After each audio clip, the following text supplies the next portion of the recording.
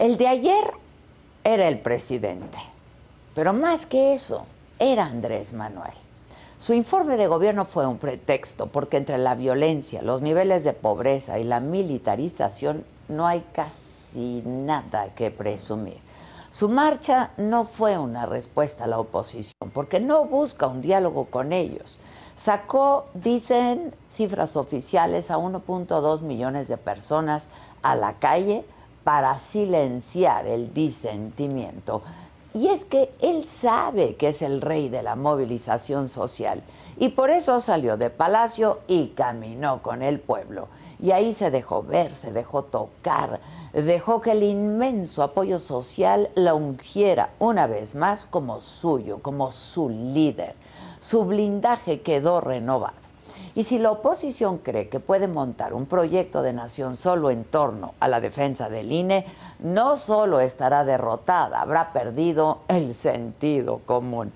Pero aún más peligroso, los mexicanos nos habremos quedado sin opciones. Que nadie se engañe. Claro que hubo acarreo pase de lista también, presión desde los 22 gobiernos que tiene la 4T y presión incluso hacia trabajadores de los programas sociales, a burócratas, a guardias nacionales para que salieran a apoyar al presidente. Las prácticas más viejas y obscenas del prismo ayer revivieron empacadas en guinda. Y aún con todo eso, es innegable que miles y miles estaban ahí por la convicción de apoyar a López Obrador. Esa fuerza que tiene descomunal es algo que ningún otro político en México puede presumir y que en la oposición siguen sin descifrar cómo neutralizar o encauzar a su favor. El martes pasado, Rosa Isela Rodríguez, la secretaria de Seguridad y Protección Ciudadana, admitió que en octubre hubo un ligero repunte en homicidios dolosos. Las estimaciones dicen que este año va a terminar con aproximadamente 34 mil asesinatos. En este gobierno han matado a más de 13 mil mujeres. El Coneval reveló que 2.4 millones de mexicanos, o sea, el doble de los que marcharon ayer, imagínense, cayeron en condiciones de pobreza laboral por la inflación. Tenemos una refinería que no refina, un aeropuerto en donde no vuelan aviones, está vacío, un tren que destruye la selva y se encarece día con día. Los militares tienen más poder y recursos que nunca en el México moderno. Hay más de 108 mil personas desaparecidas. El sistema de salud está en condiciones críticas. El sector cultural ha sido severamente castigado. Y ayer, por encima de todos estos datos, de toda esta evidencia, de las víctimas y de la realidad misma, se colocó el poder de un solo hombre, que no solo se niega a rectificar, sino que vive en una cacofonía donde avances mediocres los viste como si fueran triunfos históricos. Y mientras mientras la oposición de este país vive agazapada en un extremo del juego de polarización que López Obrador sembró. Y del otro lado tampoco hay un paraíso. Morena tiene una lucha encarnizada en su interior. El senador Ricardo Monreal está a punto de dejar el barco, si no es que ya lo hizo. Y las corcholatas oficiales, Adán Augusto López, Claudia Sheinbaum y Marcelo Ebrard, se han mostrado incapaces de marcar una sola diferencia contundente con el presidente. Hay que decirlo, ¿eh? la ausencia de frontera entre partido y gobierno es el pasado que tantas generaciones quisieron, quisimos dejar atrás. Hoy el sexenio de López Obrador ha entrado oficialmente en su ocaso.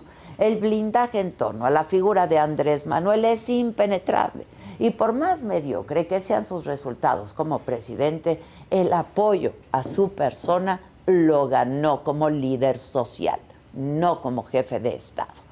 Quienes marcharon ayer defendieron la narrativa legítima de hacer más por los más pobres, de transformar una nación. Una narrativa sobre la esperanza cargada en un solo hombre. Pero no salieron a presumir nada, ¿eh? No hay logros contundentes o la materialización de que hoy México sea un mejor lugar para vivir. No, no.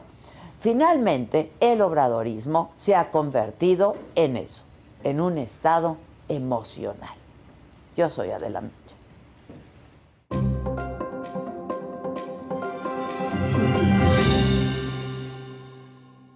Hola, ¿qué tal? Muy buenos días. Los saludo con muchísimo gusto. Hoy, hoy que es lunes, es 28 de noviembre. En la mañanera, el presidente dijo que está muy contento y feliz por la marcha de ayer. Aseguró que sí se atiende al pueblo y que por eso la gente responde. Además, en Nuevo Laredo, Tamaulipas, balaceras, enfrentamientos, persecuciones se registraron esta madrugada en esa ciudad fronteriza. Esto paralizó las actividades matutinas, entre ellas, por supuesto, las clases y el servicio público de pasajeros. En Michoacán, el fundador de los grupos de autodefensa, Hipólito Mora, resultó ileso de un ataque a balazos por un grupo de sicarios. Y en el escenario político, desde Madrid, Ricardo Monreal, coordinador de los senadores de Morena, reconoció que está en conversaciones con la oposición rumbo al 2024. Reveló que en efecto se ha reunido con líderes del PRI, del PAN, del PRD y también con Movimiento Ciudadano. En información internacional en China, las protestas se extienden en el país por la política de COVID-0 del gobierno. No queremos PCR, queremos libertad, gritaban los manifestantes en Pekín. En los otros temas, México está pues prácticamente eliminado del Mundial de Qatar luego de su derrota frente a Argentina. Hoy, hoy va a haber un homenaje en Bellas Artes dedicado al enorme actor Héctor Bonilla, falleció el viernes. Miguel Bosé presentó su libro Historia secreta de mis mejores canciones en la FIL de Guadalajara. De todo esto y muchísimo más estaremos conversando esta mañana aquí en Me lo dijo Adela. Por cierto, va a estar con nosotros Kate del Castillo. Comenzamos.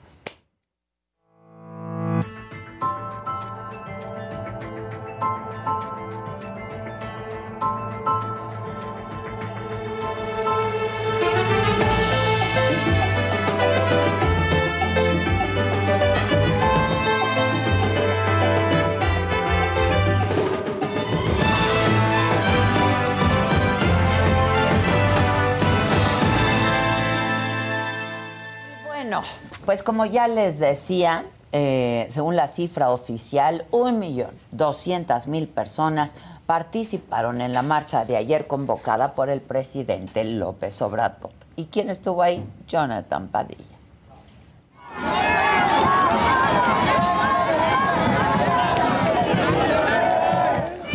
Pues inició la marcha con motivo del cuarto informe de gobierno. Son miles de personas que se han dado cita aquí en Avenida Reforma, justamente enfrente del Ángel de la Independencia. Vámonos, vámonos, vámonos. Avásele, avásele, vámonos. Va enfrente el presidente junto con la jefa de gobierno Claudia Sheinbaum. Trataremos de acercarnos un poco. Somos acarreados, compañero. ¿Usted? Sí, claro. Una participación enorme aquí en este día. Alcalde, estamos muy orgullosos del presidente, de su trabajo, por eso tiene tanto apoyo de la gente. Son cuatro años de lucha y de resultados. Y estamos muy, estoy muy participar en este movimiento. Es una, una movilización llena de empujones. Viene el presidente junto con el secretario de Gobernación, Adán Augusto López y la jefa de gobierno, Claudia Sheinbaum. Por más que queremos entrar para preguntarle algo al presidente, no podemos.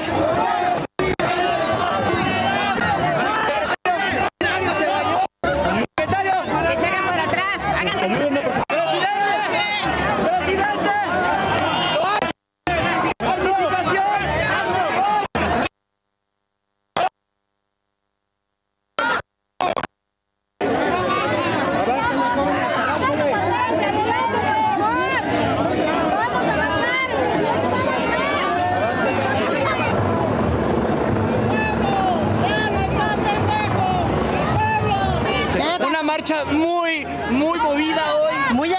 Emotiva viva, llena de muchas emociones, pero lo que sobresale es el entusiasmo, el cariño que tiene el pueblo hacia el presidente. Lo bien para unos empujones que ya nos hacían falta. Nuestro presidente se merece eso y más. Que esto no es de acarreados, esto es de mucho sentimiento del pueblo. Una situación completamente caótica. Acercarse al presidente. Ya está aquí, ya, Está Adán Augusto López, el secretario de Gobernación, justo con su hijo de Andrés Manuel López Obrador, se encuentra presente también. ¿Como cuántos más o menos calcula, jefe? Un millón doscientos. No hay acarreados. Cada quien por su cuenta está aquí. ¡Somos la voz del pueblo! próximo presidente. ¡Somos presidente, Marcelo. Llevamos dos horas y nos ha costado mucho trabajo caminar porque hay demasiadas personas. Un éxito, un gran triunfo del movimiento y del presidente. Se ve el cariño popular, no se inventa. Lo que se ve no se inventa. Eso es muy correcto, secretario. Gracias, Marcelo.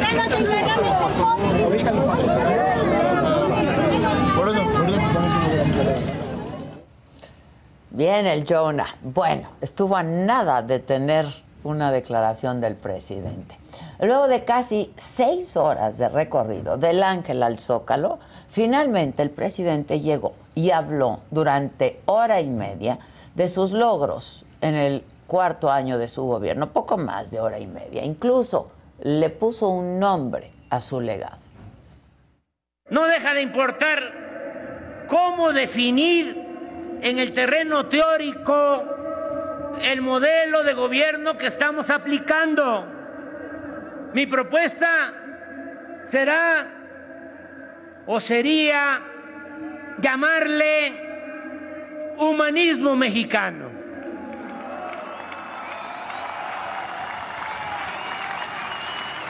Porque sí tenemos que buscar un distintivo, humanismo mexicano, no solo por la frase atribuida al literato romano Publio Terencio, de que nada humano nos es ajeno, sino porque nutriéndose de ideas universales, lo esencial de nuestro proyecto proviene de nuestra grandeza cultural milenaria. Bueno, lo que también es cierto es que esta marcha, que sí fue multitudinaria, fueron miles y miles de personas acarreadas. Se reportó que había más de mil camiones en las inmediaciones de reforma. Además, a los servidores de la nación que dependen de la Secretaría del Bienestar, los presionaron para hacer labor a favor de la marcha del presidente. Servidores de la nación exhibieron a sus líderes delegacionales de la Secretaría del Bienestar. Los amenazaron con despedirlos si no difundían propaganda de la marcha de ayer por los cuatro años del gobierno del presidente López Obrador. Así morena, colgando cartelones. Por mensajes de WhatsApp, los líderes delegacionales indicaron a los servidores de la nación que debían juntar gente para que participaran en la marcha, dejando a un lado sus labores institucionales. Ahí nos dimos cuenta de que hay un acarreo viva, ahí sí, estaban dando de aquilentón a los adultos mayores y a, los demás les daban transporte, comida, no me acuerdo qué más. Entonces ahí es un acarreo, ¿no? Como tal, un acarreo. Y se supone que nosotros no podemos actuar así.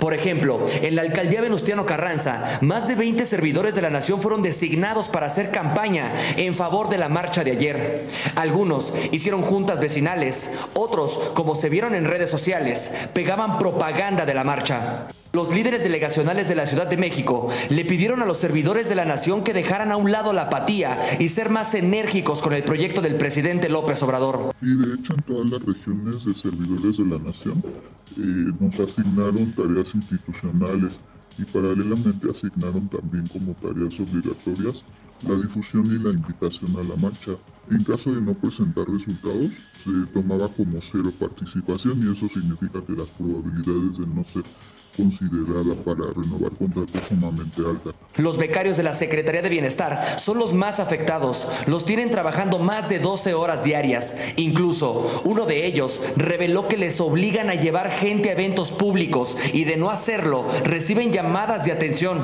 o amenazas de quitarles el trabajo. Detalló que los programas sociales como Pilares, Ponte Pila o de participación ciudadana es trabajo político disfrazado de programas sociales. Es importante señalar que los servidores de la nación tienen coartada su libertad de expresión ya que de presentar sus inconformidades ante las autoridades responsables solo recibirán las denuncias y posteriormente las represalias que van desde exigirles trabajos extenuantes hasta el despido injustificado. Para me lo dijo Adela, Jonathan Padilla. Bueno, y esta mañana el presidente así agradeció el apoyo de la gente. Bueno, pues estoy muy contento, feliz y sobre todo muy agradecido con la gente, con todos, porque se volvió a dejar de manifiesto la bondad, la generosidad, la solidaridad de nuestro pueblo es una fórmula efectiva.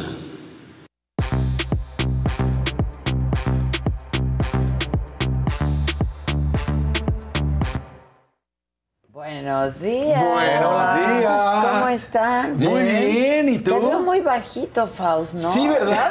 Sí, sí, sí, es cierto. Sí, sí, sí. sí. Eso. ¿Qué andas haciendo? ¿Qué Sí, sí, sí. Una- en, un- en uno de los trabajos. Todo hasta ribotota. Exacto, exacto. Todo hasta ribotota. En uno de los trabajos había que tenía había una silla que le decíamos la silla de la vergüenza.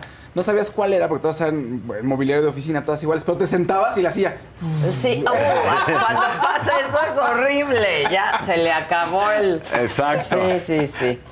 Oye, este, ¿qué onda? Se les dijo, no me creían, me tachaban de mala persona, de no querer a México. Antimexicano. Antimexicano.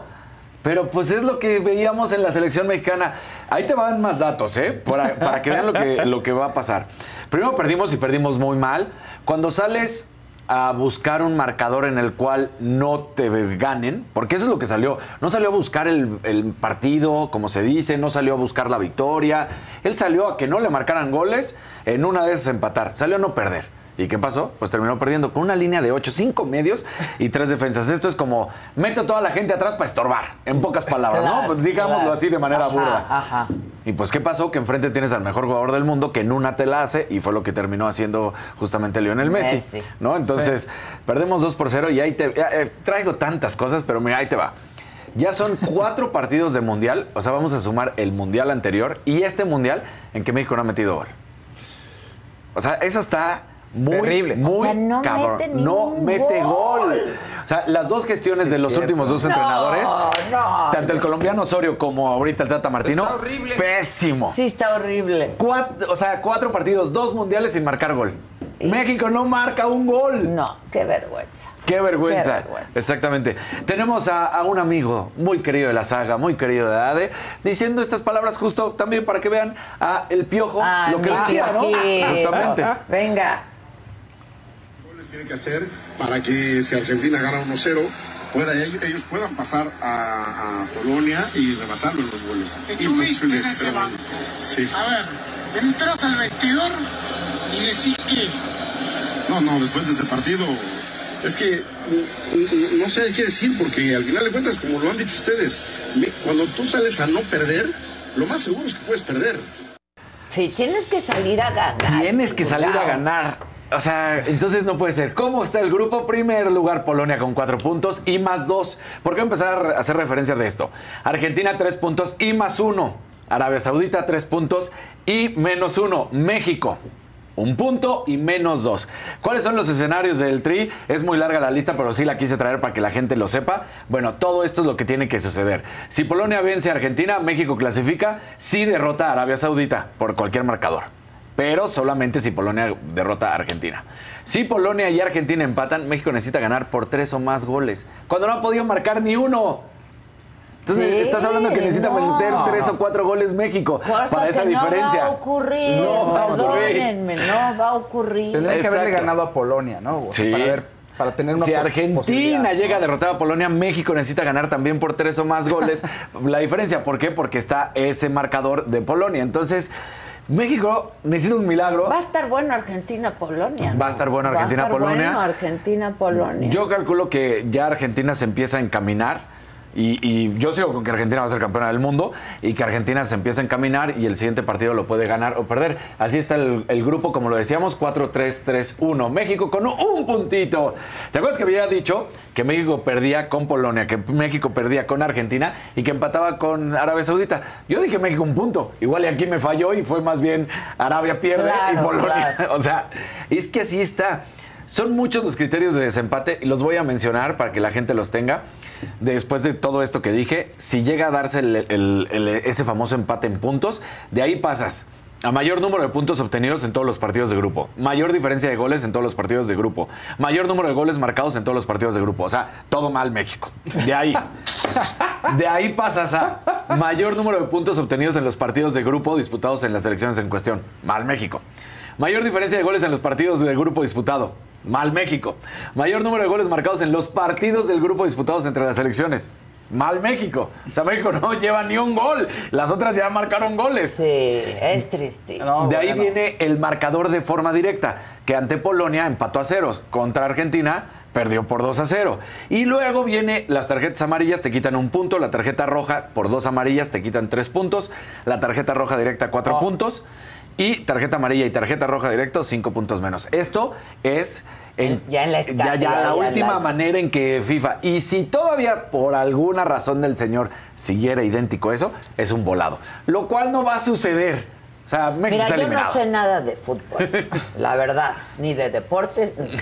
¿Cómo no? Ya sabes Pero soy bastante. espectadora. Claro. ¿no? Yo vi el, pa- el, el Partido. partido del sábado. ¿fue? Sí, sí. ¿Domingo, domingo? A domingo. No, no, sábado. Sábado, sábado. Ya la Sí, sí, segunda sí. vez que nos... Ya me equivoqué yo. No, es que me dicen, ¿qué tal que fue el viernes? Les digo, ¿en qué? Pues en la chingona. Le digo, ¡ay! Yo siento que ya pasó Sí, mucho sí. tiempo. Es que Sábado a la una. sábado, Sí, ya, ya. domingo, etcétera. Yo todos los días ando viendo partidos, Exacto. entonces. Sábado a la una y dije, qué malos son. Claro. De veras, qué malos son. Mira, Y a Memo lo dejaban solo a también. Memo lo dejaban o sea, solo. Sí. Insistes en O dos sea, es buen delanteros. portero, pero es un gran portero, pero si lo dejas solo, pues no tampoco. puede hacer todo. Luego, insistes en dos delanteros, ¿no? ¿Te acuerdas que habíamos platicado del caso de Raúl Jiménez, que no trae ritmo de fútbol, que no ha jugado, que hasta el propio Jerry decía que un cono juega más que... Pues sí, porque Pues estorba sí. y porque no trae fútbol. No es nada en contra de Raúl, es nada más que vean la realidad. No está jugando, no está haciendo nada, absolutamente nada. Y estorbas. Entonces, automáticamente, en vez de tener 11 en la cancha, te conviertes en 10. Entonces, bueno, ya te llevaste a Raúl Jiménez, neceaste y ahí está. Otro con el que neceaste es con Funes Mori. Otro jugador que no estaba marcando goles, que no estaba haciendo las cosas bien en Monterrey, que es un gran jugador, o fue un gran jugador, porque también ya está en los últimos años de su carrera, y tampoco lo pones. Entonces, son esas necesidades que dices, terminas dañando a la selección. Pones a, a- a Guardado. Guardado hizo un gran esfuerzo. Sí, pero Gran esfuerzo, pero se terminó rompiendo por el esfuerzo que tuvo es que, que, se- hacer. que se les ve agotados. Claro. Exactamente. Se les ve muy No, cansados. Por ganas no pararon, pero no se vio el funcionamiento, se vio Porque no, se hay, vio bien, no hay una idea bien. táctica, entonces pues, pues nos pasaron por encima, esa es la realidad. Con dolor, con molestia. A mí me decían, ¿y es que tú por qué no? Pues porque yo ya sabía que esto iba a pasar y vengo diciéndolo desde hace meses. Entonces, bueno, eh, el área de CONCACAF, para que vean que no nada más es México, el área de CONCACAF está muy mal. Estados Unidos, la verdad es que, pero lo que sí es que todos han marcado gol excepto México. Costa Rica ya ganó. Canadá no ha ganado, pero marcó gol. Estados Unidos no ha ganado, pero marcó gol. México no marca gol desde hace otro mundial. Van cuatro partidos. de mundial. Ya, ya, qué Exacto. horror. Pero es escandaloso la, la cantidad, si lo comparas con la cantidad de dinero que se invierte, ¿no? Y lo que cuesta la liga aquí en México, lo que ganan los jugadores, pensarías que tendríamos que tener otro fútbol. Debe- Deberíamos, pero nuestro fútbol es mediocre. Y si no calificamos, y nos quedamos con un punto, tiene que venir una revolución dentro del fútbol mexicano. Tienen que despedir y renunciar más bien los directivos. No estoy hablando de los dueños del fútbol, de los directivos, porque hay que renovar nuestro fútbol, porque el siguiente mundial es una partecita en nuestro país, otra partecita en Canadá y el resto del mundial en Estados Unidos, pero es cuando estás en casa. Claro. Y si no estás preparado para ese momento, bueno, ya, ya, ya.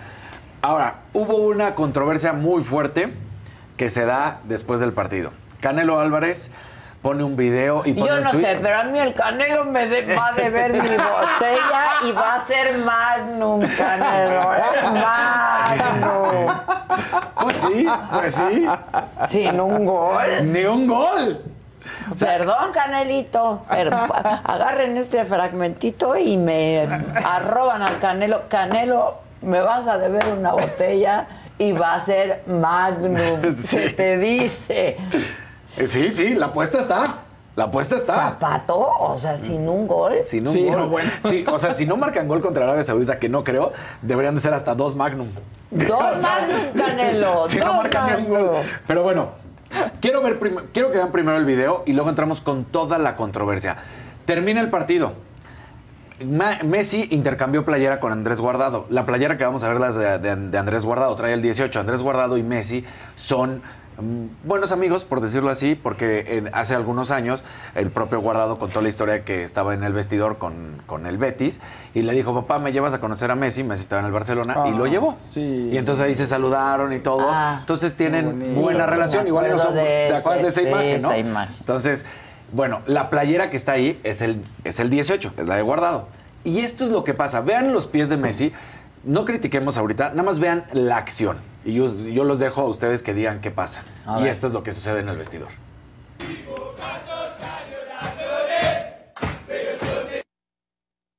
Petición. Ahí ya dice Messi patea la playera, pero vean bien los pies que está haciendo.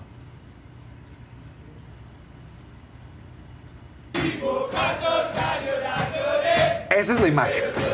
Ah, yo no creo que haya pateado Te ninguna playera. No, no, como que no. Eh, o sea, A ver otra vez. se está tratando de quitar el taco. Sí, se está quitando el tenis. Exacto.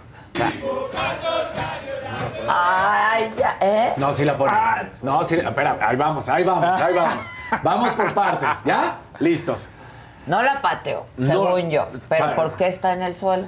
Y justamente, esa es, esa es la mayor crítica que podría hacerse. ¿Por qué la playera está en el suelo y no eh, sentado? Muchos de los futbolistas normalmente llegan y se quitan todo y, y lo ponen. El movimiento para mí no está pateando. Para mí se está quitando el, el Sí, taco, se está quitando el zapato. Y se lleva la, la playera. Canelo se encabronó, puso un tweet y, y en pocas palabras amenazó a, a- a Messi, ¿eh? O sea, aquí está. ¿Vieron a Messi limpiando el piso con nuestra playera y bandera? Y ven el, el que sigue es más bravo. Que le pida a Dios que no me lo encuentre. Bueno, bueno, los puños, ¿no? Sí, no, bueno. Exactamente. No, bueno. Entonces, muchos salieron pues a criticar al Canelo, a decirle no estás viendo con ojos. El Canelo se aventó, si ahorita se meten al tuit del Canelo, dijo, a mí me vale madre, ¿sabes? vamos a despender. Este, bueno, este trae pleito con él siempre todo el tiempo, el propio Canelo lo dijo aquí contigo en la saga, ¿no? Entonces le dice, tú eres un payaso. O sea, se empezaron a jugar entre ellos dos y Canelo le empezó a decir, de hecho hasta Canelo le dijo, pues tú y mi bol. Y, y ya Faitelson dijo, yo sé que a mí sí me noqueas, pero... sea, Bueno, se odian el Canelo y Fighter. sobre todo Canelo a Faitelson, ¿no? Lo odia. Lo odia. Sí. Lo lo odia. Entonces, ahí, ahí estaba esta situación. Faitelson siguió arremetiendo. Faitelson, Faitelson ya le gusta andar en, este show, ya olvidó el periodismo hace mucho tiempo. Y entonces eh, ahí está nada más causando controversias. O sea, es- es como el otro Alvarito Morales, igualito. Ahora, aquí salieron futbolistas a defender a Messi. Futbolistas que lo conocen y que jugaron. Este es Chex Fábregas, que es catalán, que hoy en día juega en Francia. Y dice, ni conoces a la persona ni entiendes el cómo funciona un vestuario o lo que pasa después de un partido. Todas las camisetas, incluso las que usamos nosotros mismos, se van al suelo y se lavan después. Y más cuando celebras una victoria importante.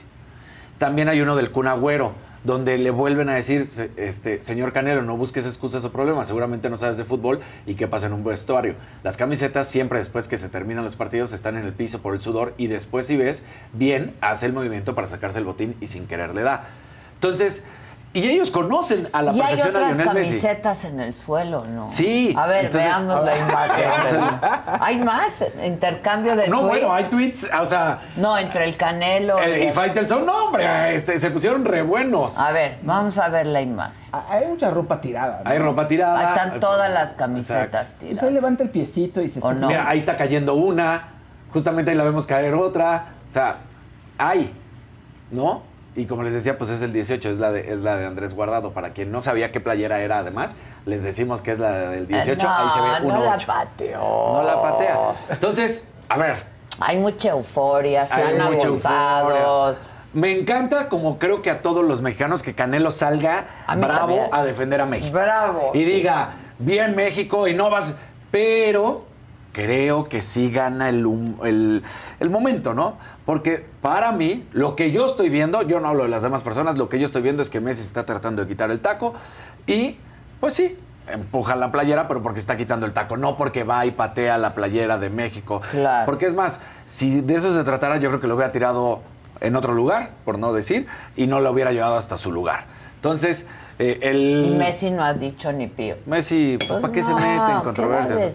Los tweets con, con Faitelson se pusieron muy buenos. Si quieres, podemos poner más de Faitelson y el Canelo. venga. Están re buenos. Está re bueno el chisme. el Ahora, a mí el Messi, no lo sé, pues yo ni lo Sí, ¿no? conozco al hombre, pero me da la impresión que es una buena persona. sí, ¿no? Ve Sí, de hecho, hasta en algún momento lo trataron de calificar como que tenía Asperger, este tipo de autismo, ¿no?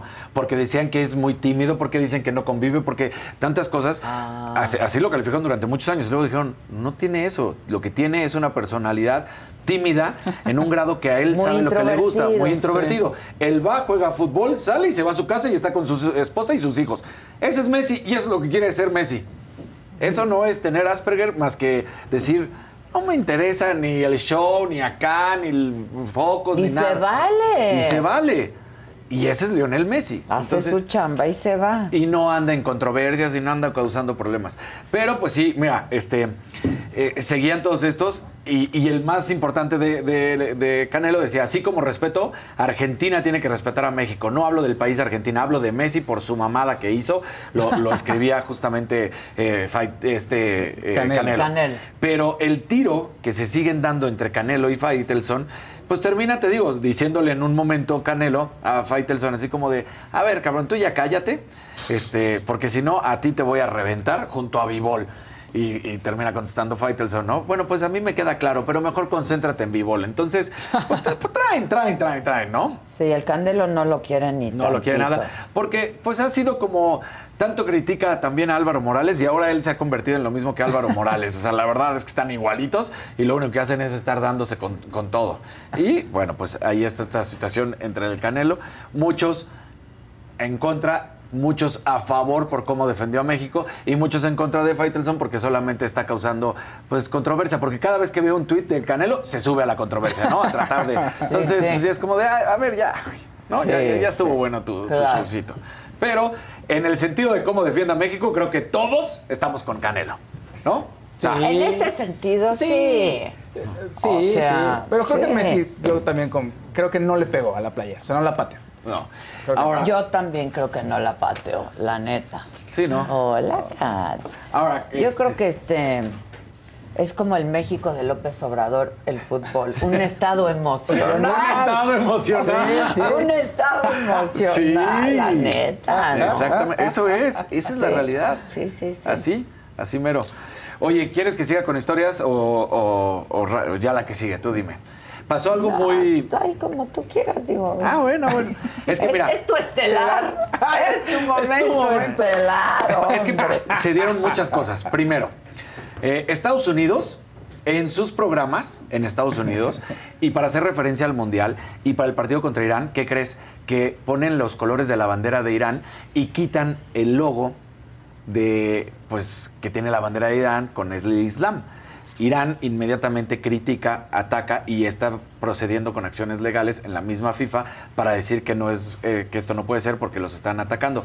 Hay un reglamento de FIFA en el cual dice que si un país agrede a otro, pueden, en, en cuanto a sentimiento, ¿no? Y qué es lo que puede suceder, pueden eh, separarlo pueden ca- sacarlo del, del Mundial. No creo que esto llegue a suceder. Sabemos la situación que está detrás, es por las mujeres, es por lo que ha sucedido, es porque los mismos iraníes están pues defendiendo, eh, no están hablando, no están cantando el himno, pero eh, está fuerte el tema, ¿no? Entonces, eso sucede, vamos a ver qué es lo que termina pasando con, Estados Unidos y con Irán, pero lo que sí, y hablando ya de ahí de una vez, resulta que una reportera eh, estaba tratando de, la reportada Shaima Khalil de la BBC, trata de entrevistar a Carlos Queiroz, portugués, eh, director técnico de Irán.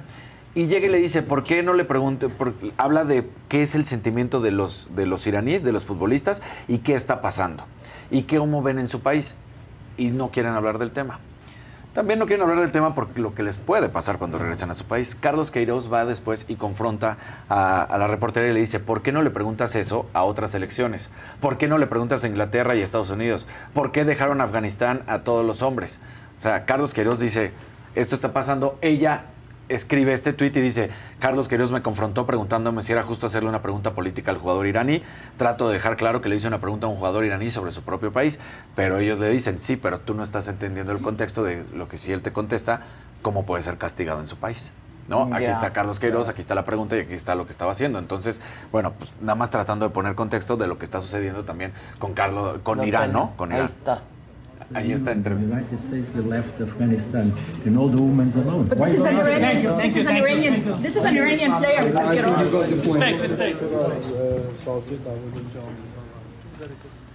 Y ahí es donde le dice, ¿por qué le, tal cual, ¿no? ¿Por qué le preguntas? Y bueno, pues este, ya nada más. Para terminar, eh, decir que también hubo disturbios en Bélgica porque Bélgica perdió y resulta, ya sabemos que los hooligans de Bélgica y los de Inglaterra Sí. son de los más fuertes. Sí, sí, bueno, pues hubo disturbios en Bruselas y en varias ciudades de, de Bélgica tuvieron que salir los antimotines a tratar de defender. Mira cómo estaba eh, Brujas. O sea, la verdad es que bravísimo el tema. Tuvieron que detener a, a 10 personas y bueno, ya pidieron que se calmen. Esto por la derrota de Bélgica ante Marruecos. Entonces, bueno, pues la Pero verdad es- es que... eh, ¿Ocurre seguido en? O sea, que la selección pierda y en Bélgica sí se vuelve Es que la selección de Bélgica lleva con el mote de eh, El caballo negro. el caballo negro desde hace dos mundiales. Y no termina de dar ese paso, ya no lo, ya no lo Ya dio porque ya eh, crecieron los jugadores. Y este es el gran tema que se estaba dando y pues ya llegó el, el punto de la agresión, ¿no? Así que, oye, y nada más antes de irme, aquí está la respuesta, la última que quería decirte, Es un que le dice Canelo. ¿Qué le dice Canelo? Eres un cobarde. Así tal cual, tweet a, a Faitelson. Eres un cobarde, porque cuando me tienes de frente, eres un ángel. O sea, chingas y chingas Ah. en Twitter. Pero cuando me tienes enfrentito, eres un angelito. Ahí sí, ¿verdad? Bueno, ¿quién se va a querer meter con el Canelo?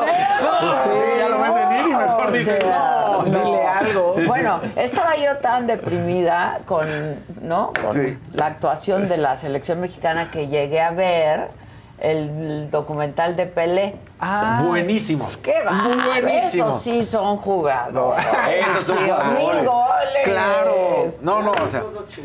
Sí. ¿Eh? Veamos Veamos cosas, chingonas. chingonas. O sea, para algunos va a ser el mejor futbolista de la historia. Para otros será el segundo mejor futbolista de la historia porque el primero será Maradona. Pero en cuanto a lo que conlleva ser futbolista profesional dentro y fuera de la cancha, no hay ninguno otro como Pelé, porque Maradona fuera de la cancha fue muy lamentable su carrera y su vida. Dentro fue una joya, pero fuera fue muy lamentable. Y Pelé, bueno, y además hoy en día te empiezan a sacar videos para que también los jóvenes vean, ¿no? Porque de repente te sacan un cabezazo de Cristiano Ronaldo que brincó un metro, o goles de Rabona, o goles de cualquier tipo. Ajá. Y entonces dicen, esto lo hacía Pelé. Esto lo hacía Pelé, Sí. brincaba un metro. Pelé marcaba goles de chilena, Pelé marca. Entonces así como de que esto Pelé lo hizo hace 70 años. Sí, súper completo, pelea, Sí. muy completo. Sí. No, está muy cañón ese Por eso es qué bárbaro. posiblemente el mejor de la historia, Sin duda. sin duda. Es, acuérdense, lo de la selección mexicana es como la marcha y como López Obrador, un estado emocional. Mi querido Guadalupe, ¿Cómo estás, Adela? estás? Guadalupe Acosta, Naranjo, integrante del Frente Cívico Nacional, aquí otra vez con nosotros, este, porque tienes harto fan, ¿eh? ¿Sí? Tienes, tu, tienes tu fan. Oye, ¿cómo viste, Guadalupe? No, la verdad es que es una marcha de la ignominia La marcha de la ignominia. del presidente que pues él convocó a una marcha para respaldar, Andrés Manuel convocó para respaldar a López Obrador y luego López Obrador marchó a la cabeza y luego el único que habló fue López Obrador. No, o sea, estaba todo. ¿Y para qué? Pues para defender a López Obrador. sí. Estaba todo bien, bien, bien a todo dar. Pero lo volvió a hacer, ¿eh? Lo hace. Lo volvió a hacer. Pero, a ver, nada que nos sorprenda, ¿no? Yo La creo marcha que todos sabíamos. Yo creo que a todo mundo nos sorprendió la marcha del 13 y a nadie nos sorprendió la, La- marcha de ayer. Es correcto.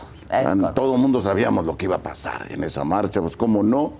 Si te los traía por estado, por gobernadores, por presidentes acarreados. municipales. Sí, sí, muchos acarreados, miles de Y camiones. gente que lo quiere también. Pero también hay que decir Hay gente pues, que lo quiere. que no solo lo quiere, lo adoran.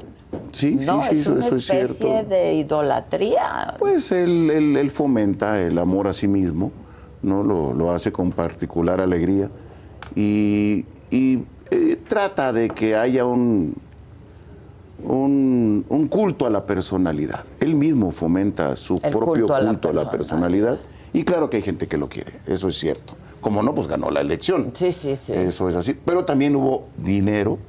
Es lo que te iba a decir. ¿Cómo funciona esto? Tú que le sabes. El rey del CAS, el rey del CAS ayer mostró todo su músculo, porque eso no sale más que de dinero público. ¿Eh? Los gobernadores pues, tenían cuota, los hizo marchar en orden alfabético, para contarlos. Por eso los puso, a ver, primero Aguascalientes y luego Baja California Sur y luego... Estado por estado para en poder orden contarlos si habían cumplido su cuota, porque si se Ah. revuelven, entonces pues todo el mundo cumplimos, ¿no? Sí, sí. No, no, él seguramente el que no cumplió ahorita lo, lo han de estar regañando. Si no llegó alguno con la cuota que les dieron. Por eso los hacen en orden alfabético. Ya, y veíamos a Claudia dándole su pan a la gente. Sí, ella muy ¿no? atenta, ¿no? Muy atenta, muy, Muy ama de casa. Eh, Sí, sí. Esto, esto, esto es con lana. No hay de otra. Es que si no, ¿cómo le No hay de otra y con mucha lana, porque además algunos ingratos venían de muy lejos. Entonces tenían que llegar a dormir aquí. Es ¿no? lo que te iba a decir, el hotel. ¿Quién hotel. paga el hotel? Pues los gobiernos estatales y Mm. municipales. Eh, ellos tenían su cuota y ellos hacen cargo de todo eso. Ya. En algunos lugares como los de Sonora, que hay ahí a unos audios 350 pesos por día. En el caso de Nayarit le daban 1.500, según me platican mis amigos nayaritas, Ok. a- adicionalmente a sus gastos. O sea, Ah, viáticos más Sí. 1500. Hay unos que dicen que los camiones 24 mil, pues depende de dónde vengas. Si vienes de Sonora, un camión de allá por dos días no te salen menos de 80 mil pesos. Un camión. Fíjate. Depende de la distancia, el Claro, costo del pues, camión. claro, como todo. Entonces, los que vienen de lejos, de Chihuahua, de Tamaulipas, de Sonora, de Sinaloa, son mucho más caros. Claro. Y hay la gente. columna del financiero de Darío Celis eh, la semana pasada decía, él hizo sus propios números, claro, pero él decía que la contramarcha costó 1.500, iba a costar, que ya costó obviamente, 1.500 millones de pesos. Eso más o menos es como unos 30 años de los sueldos de los consejeros del INE. Del INE, De esos que él dice que son una claro, barbaridad. claro. Porque un consejero termina ganando alrededor de 2 millones al, al año. O sea, ¿para qué se hizo? ¿Para qué se hizo? Esa marcha es, un, un- Es un- culto al ego de lo Era la marcha de la revancha primero, porque no la había planteado hasta después de la, primer- de la marcha ciudadana del 13.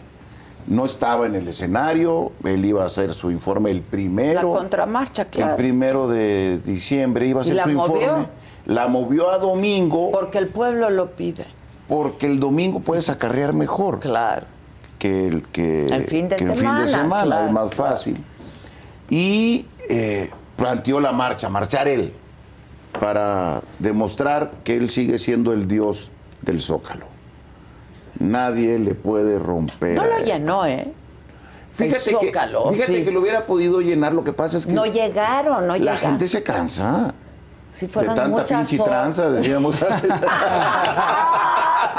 tanta pinche tranza. Y entonces la gente llega cansada y, y se retira a descansar. O sea, ¿quién se va a quedar además? Con lo rápido que él habla, así, lo ágil que es. Eso sí, a su, a discurso no se quedó mucha gente, la gente Se se, iba y luego también pues, a No, media no era marcha. ninguna novedad, además. Es una, es una, es una mañanera plus. Exacto. Lo que exacto. informa. El y se quedó es- más de 90 minutos, o sea, es un mucho No, tiempo. no, no, es que Andrés Mucho no tiene piedad con nadie. Sí, yo lo único que pido a últimas fechas es que en descargo nos permita al Frente Cívico, porque nosotros fuimos lo que le dimos la idea, comercializar sus pausas. Porque si- Exacto, si, podemos meter un comercial en medio de sus silencios, come frutas y verduras. Claro, rápidamente, entonces claro. podríamos nosotros financiar un movimiento cívico. Exacto. A nosotros nos da la mitad de lo que él gastó y le hacemos el doble de esa marcha. Porque nosotros le hicimos sin un 5. Sí, la verdad, sí. Fue de saliva. Esa sí sorprendió. ¿no? Esa es la la que de ayer no sorprendió, pues lo esperábamos, es Andrés que lo volvió a hacer. Es una marcha desde el Estado que tenía como objeto aumentar el ego del propio Pero es- presidente de la Es República. penoso para él tener que hacer Yo creo que esa ¿no? es una derrota política y moral para él. Sobre todo moral. Tener que responder eh, con- contra lo que se luchaba hacerlo él, ahora él de manera redoblada. Mira, si, si los espíritus existen, ahí deben de, haber, deben de haber ido a marchar Luis Echeverría, López Portillo, este López Mateos. A los que tanto critica él. Todos esos marcharon junto con él ayer. Nomás faltaba que estuviera don Fidel Velázquez. Exacto. No, saludando claro, a los obreros. Seguro andaba por, Por ahí andaba don Fidel. Sobrevolando. Sí, sí, sí. viviendo su, sus nuevas marchas, ¿no? Las, viendo cómo se las, se las mejoran Sí. a don Fidel. E- Es en verdad una tristeza que en vez de eh, dialogar con los ciudadanos, Que les diga yo soy el jefe aquí. Y no ofrezca ningún diálogo. Yo Este es el- mando, yo Este es el presidente que no dialoga con nadie. Andrés Manuel solamente platica con López Y que se Obrador. hace sus marchas y que se hace... Otra vez es el culto al ego, la feria de la vanidad. A la personalidad. A la personalidad. A la personalidad, como las hacía Fidel Castro. Sí. O las Pero hacía Mao. también, ¿no crees, Guadalupe? Porque estaba lastimadón con la marcha, la marcha espontánea, esta marcha la, la marcha, no- la marcha del 13 no tenía objetivo con competir, no tenía como objetivo competir con ninguna otra marcha. Eh, él debería de estar un poco, que él que le sabe el tema, preocupado porque hizo esta movilización de traer gente de todo el país para poder demostrar El que, músculo. que iba a ser una marcha mayor que la anterior.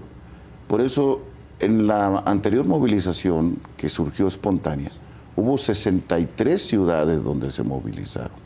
Si él lo hubiera hecho en esas 63 ciudades, no hubiera podido demostrar la fuerza de la marcha el local. músculo, claro, Entonces tuvo claro. que traer gente de afuera porque la ciudad fue la que le falló.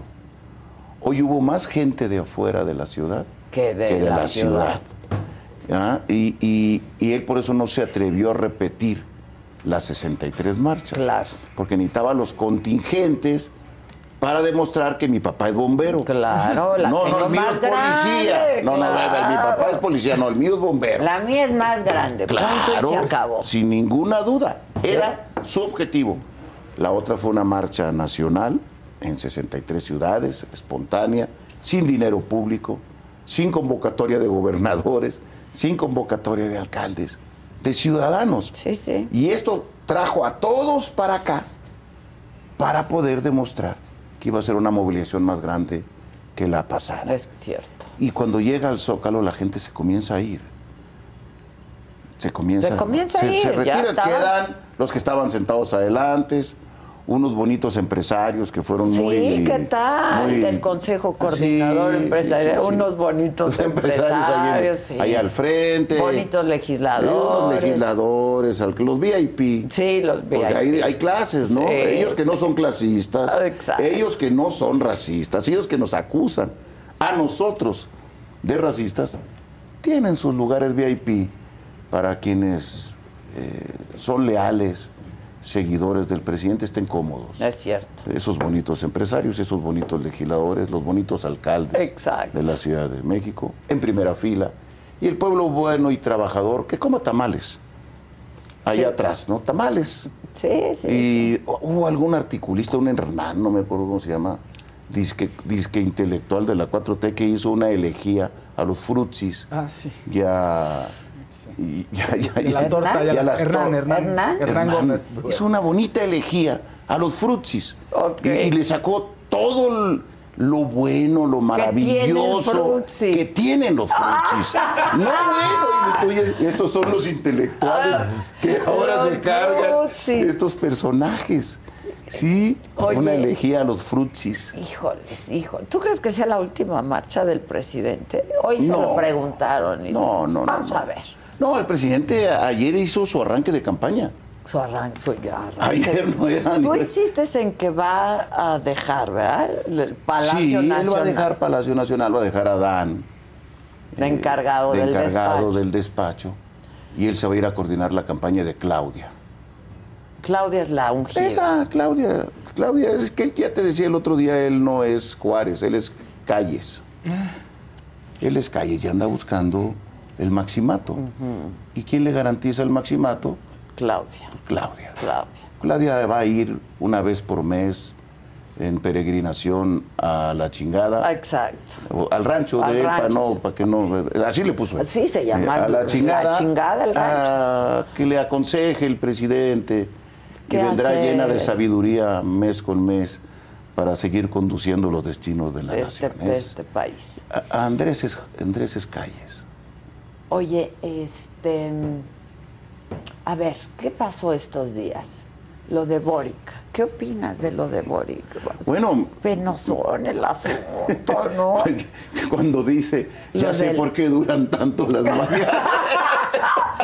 Eso uno, y luego cuando el presidente habla del BID y la chingada, y entonces Boric dice, bueno, yo no me meto, ¿no? En cuestiones de cada país, este. No, y cuando Boric va al Senado y unos senadores del Grupo Plural le sacan una manta respecto a Daniel Ortega, no evade deslindarse de Sí, Daniel Ortega. no. El, uno de los Él protegidos fue al Senado y él y, sí, y habló de, de Daniel, que además sí es una pena, porque Daniel pues encarceló a todos los candidatos opositores.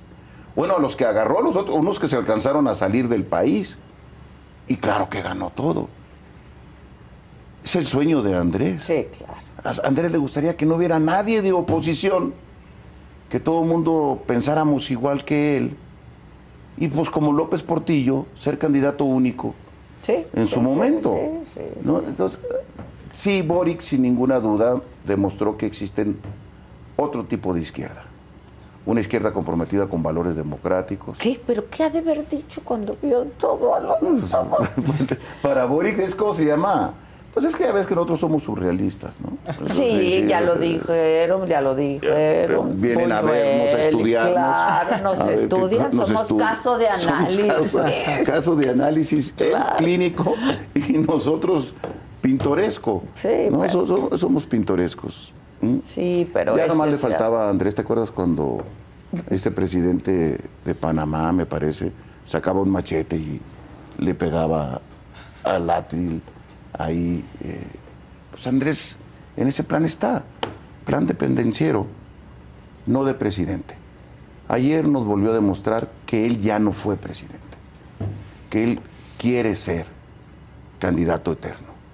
Sí, sí, sí. sí. Le ha de doler no estar de nueva cuenta en la boleta en Es 2024. lo que le gusta y es lo que Es la sabe. primera hacer. vez, mira, en 88 estuvo en la boleta, en el 94 estuvo en la boleta, en el 2000 estuvo en la boleta, en el 2006 estuvo en la boleta, en el 2012 le estu- estuvo en la boleta y en el En el 2018, 2018 estuvo en la boleta. Va a sentir un vacío inmenso que en el 2024 Ya que lo va a animar. no va a estar en la boleta. Que lo va a animar. Ya pobrecito, Manuel. Va a ocupar ahora sí ayuda psicológica para, para aprender a llevar ese vacío en el alma de no estar en la boleta. Sí, sí, sí, sí. Y por eso por lo menos va a es estar lo que en la le gusta campaña. y es lo que sabe hacer muy bien. Se va a coordinar la campaña. Se va a ir a coordinar Es lo la que campaña. tú piensas. Sí, claro. Bueno, hay una manera en que no sea. Si la oposición comete la tarugada de ir dividida. si comete la pues tontería que de ir sí. dividida, entonces no necesita. Pero si la oposición va unida, la energía social que se ha demostrado en estas últimas semanas lo van a preocupar y lo van a obligar a ponerse otra vez las botas de la campaña y a recorrer el país. Salvo que Y no se cansa, ¿eh? no, no, no, a ver ayer a su edad. Es la adrenalina. Es que es como, es como el superhéroe de Marvel, ¿no? Entonces se comienza a jalar la energía. La energía de- del de millón doscientos mil que estuvo ahí. Kenki Kada, ¿cómo se llamaba esa que, can- que, que- que hacía Goku? Ah, Que- sí, La Genki Dama, así que comenzaba. Sí, sí. Comienza a jalar la, energía- la energía de toda la tierra, todos los seres vivos. Sí. Claro, Y, todo comienza a llegar. Y se inunda, crece mucho. Es que a mí me gustaba mucho Goku. Así es. Soy fan también. Fue buena, muy buena. Oye, y la, la, a ver, la popularidad de Andrés es su blindaje. Es una popularidad que según hoy, eh, Mitoski, que es el que hace Sí, sí, sí, sí. su tracking diario, tiene 58 puntos. 58%. Él le pone un poco de cucharada y dice que tiene 70, pero él anda en 58, Pero 59. lo de ayer va a subirle, ¿no? La verdad no creo. ¿No crees? Yo creo ¿O que hay gente que, viene de allá y se enoja. Ah, mira. Viene Porque gente lo molesta. obligaron a Bueno, los fines de semana para los trabajadores son sagrados y los hacen marchar en fin de semana. Pero él dice que gustosos y alegres. No, sí se miraban los rostros. Sí. no más es cuestión de ver las fotos para ver los rostros. Insisto, hay gente que lo quiere, que lo estima, pero hay gente que ya está hasta la madre.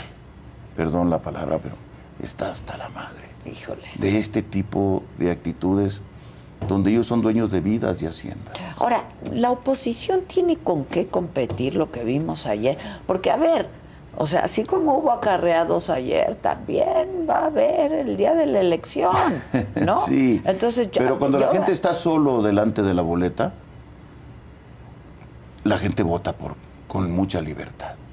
Eso ya se acabó. Eh, sí te pueden llevar. Por eso es muy, muy importante, porque es cierto que para el día de la elección no se permite entrar con celulares, porque ahora te obligan a tomar a fotos. tomarle la foto. Entonces, que no entren con celulares para que la gente vote de manera libre. Y ahí, ahí va a estar su derrota. Oye, pero puedes obligar a la gente a no entrar con celular. Ah, Bueno, si tú tomas una disposición como órgano electoral, donde digas el celular se queda fuera, ya. para Sí, porque garantizar. sí los obligan a porque debe haber garantía del voto secreto. El voto secreto es un derecho constitucional. Libre y secreto es un derecho constitucional. Y estos lo que hacen es que la gente tome foto y se la mande a su líder sindical o a si su no, líder no de colonia, dan. si no, no te dan lo que te ofrecen, ¿no? Porque te ofrecen una canonjía. Ah, Una canonjía. una, una pequeña ayudita, hay unos frutsis maravillosos que, que- que Exacto, son, exacto. son así como el nuevo Viagra mexicano. Es así, El sí, el tiene una de propiedades Claro. más que Bartlett, pues. Más, más que más Bartlett. propiedades que Bartlett, ¿no? Sí, Sí, sí, más sí. propiedades que Bartlett. Entonces, yo creo que la oposición, si hace caso de lo que está pidiendo la ciudadanía, porque yo donde miro la, la respuesta es en la ciudadanía, en muchas clases medias, Sí, claro. en muchos universitarios, Muy afectadas. en muchos universitarios, en muchos médicos, cansados del trato que les dieron en la pandemia, en muchos maestros que son obligados. Gente de la así, cultura. De la cultura. Oye, ahora hasta, ahora el del toro tiene que andar. Comprando las estatuillas. Porque estos ya ni eso. O sea, no tenían lana para eso. Sí, Pero para la marcha, ¿qué tal? Sí, para la marcha, sí. Para la marcha no hubo ninguna limitante. Dinero. Nada de austeridad Nada, ahí, se nada. acabó la Ahí se austeridad. acabó la Te austeridad. digo que esos no sé cuántos años del sueldo tan defenestrado de los consejeros. Yo, yo creo que, los, que la oposición tiene que ponerse a la altura de la ciudadanía. ¿Qué decías? ¿Dos millones al año? Más o menos es lo que tienen ellos, este, porque Los son, consejeros. son dos millones y medio al año con todo y aguinaldos, más o menos. Luego les, les suman a ellos, pues que tienen un chofer y que tienen una secretaria, y entonces los van sumando. Si eso fuese, pues súmaselos a Andrés. Claro. Para que veas, lo, que- para lo, que, funcionarios. lo que en verdad termina gastando Andrés. Y todos los funcionarios también. Claro, y eso es un, un ardid. Pasa- pasado mañana, mañana o pasado mañana se vota en el Congreso la reforma constitucional. Y ahí se va a demostrar que, Eso la, no va a pasar. que la marcha del 13 Sirvió. tuvo éxito. Claro, claro. Porque Ese derrotamos de la reforma constitucional. Este pudo haber hecho esta movilización y no va a ganar en el Congreso. La marcha del 13 lo derrotó y es lo que él quiere Pero ¿y su- tratar de tapar. Sí, pero ¿y su plan B? Su plan Viene, B. viene con el plan B que es una- hacer una ley inconstitucional. Pero va a perder en la, en la Corte. Porque además... ¿Cómo ha insultado a Lalo? Uy, A está ver. muy enojado. Bueno, está tan enojado que a los legisladores les dijo desobedezcan. Sí, no, sí. No les obedezcan, ¿no? Sí, sí, sí, sí, sí. Él, al diablo sus instituciones. Eso está terrible. Pues es que es una muestra del deterioro en el que estamos en el país. No me vengan con que la ley es la ley. Desde ahí, ¿no? No me vengan con que la corte es la corte. Cuando la corte resuelve como yo quiero, qué bonita corte. Sí, claro. Cuando la corte no resuelve como yo quiero, qué perversa corte. Es él. Es él, no hay nadie más que él. Él, él sintetiza el bien nacional. Él es la patria. Si se pudiera, él fuera la señora que carga la bandera en los libros de texto. Ah, sí, claro. Él fuera Sí. eso. No, no, no, no, no admite que nadie más represente al país. Y su gran error, que es muy autoritario, es que cree que el país es uno solo. No, No muchos países. Muchos, muchos. No un mosaico en el país. No una enorme diversidad, sino es él. El país debería de llamarse López Obrador. En vez de México. En vez de ¿Pa' México. qué? ¿Para qué, ¿Para qué le ¿Pa' ponemos qué? México? ¿Qué es eso? No, López Obrador sí es otra cosa. Ese es un país. Ese es un país sí. completo. Además, no hay necesidad de, de- de andar haciendo cosas, ni negociando, ni conversando con gente distinta. Ayer marchó y pasó por un lado de las madres de las víctimas, Sí. sin siquiera tener el gesto de saludarlas. Detenerse. De ¿no? detenerse a saludarlas. Detenerse. Son gente que perdieron a sus hijos. Que no hay, no hay dolor mayor, ¿no? No, no puede haber. No puede haber. dolor mayor que perder a tu hijo y que seguirlo buscando y buscando sin encontrarlo, pasa el presidente y no la saluda. Oye, y luego, a ver, el escupitajo a Marcelo en la marcha, ¿no? Es el nivel de polarización que tienen entre ellos mismos. Entre ellos mismos, o sea, Entre tampoco Morena mismos. las trae todas consigo, No, ¿no? ver, Como partido, o sea, Fíjate ahorita, nada más. ahorita. eh, Monreal en el extranjero y el otro, Monreal en el otro España. y el otro siendo escupido, Sí, caray, insultado. insultado. Te digo que no hay más No que hay una ofensa. candidata, no hay más que una corcholata. ¿No ves a Dan? No, no, no, no, no. Yo mira, yo qué más quisiera. Yo fuera feliz si el candidato fuera Dan con esa simpatía.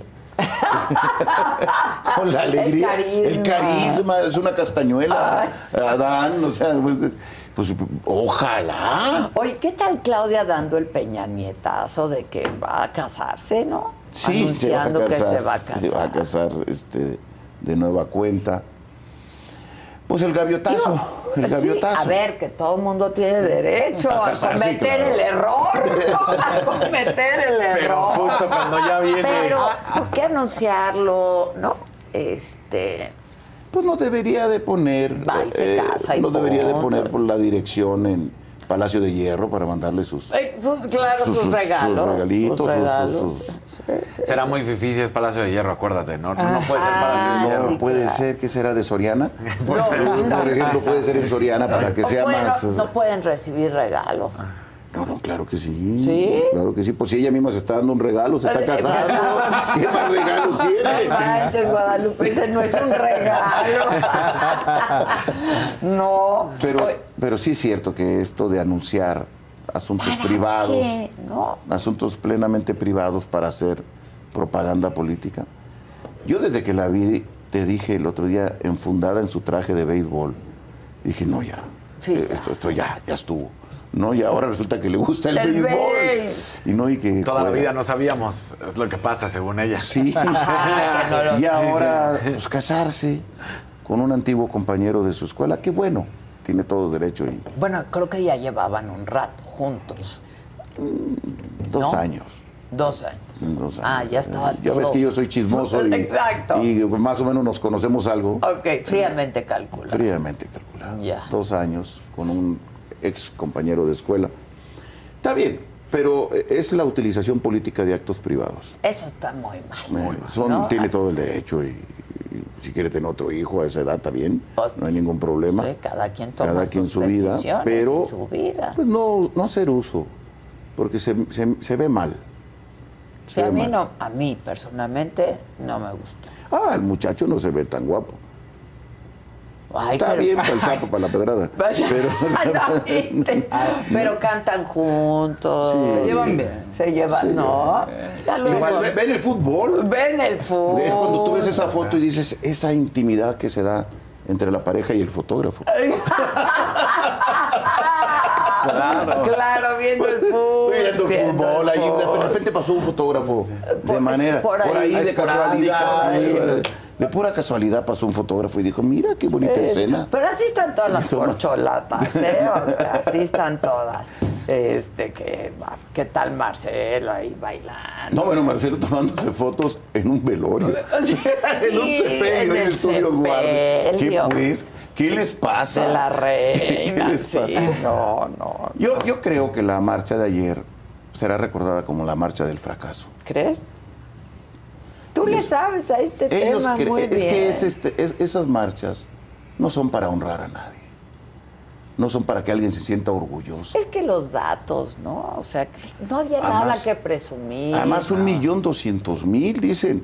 Sí. Sí, no, nosotros diez mil. Cabíamos Claro. Y ellos, ¿cuántos? ¿Mil doscientas veces más? Sí. Mil doscientas veces más. Madres, dices tú. ¿Y cómo le haces Sí, sí. para que ahí quepan un millón doscientas mil gentes? ¿Mm? Digo, estaba hasta la madre aquello. Sí. La verdad, estaba hasta la madre. Pero otra vez, a mí no me sorprendió ni tantito. Este, a mí sí me sorprendió mucho la marcha pasada de, ¿no? De, La marcha que sorprendió fue la del 13. Ayer no hubo ninguna sorpresa. no.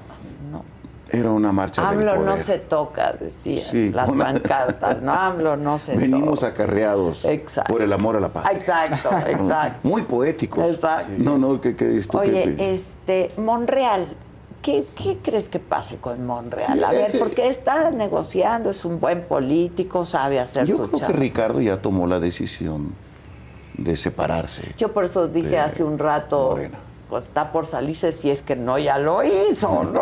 Este, Sí, es que él no se había dado cuenta que ya estaba. hay que decirle que ya, Oye, ya Ricardo, ya, te habían expulsado del paraíso, no, Exacto, no, no exacto. estás en el paraíso ya. Eh, pero Tú ya estás llegando al mundo de la traición a la patria. Exacto. Sí, sí, sí. Y, y él se va a salir. Eh, debe de tener dudas de cuánta gente que lo respalda ahora que está en Morena lo va a seguir hacia afuera de Morena. Ese debe de ser uno de sus Sí. dilemas que él tiene y de que qué seguridades tiene en la oposición.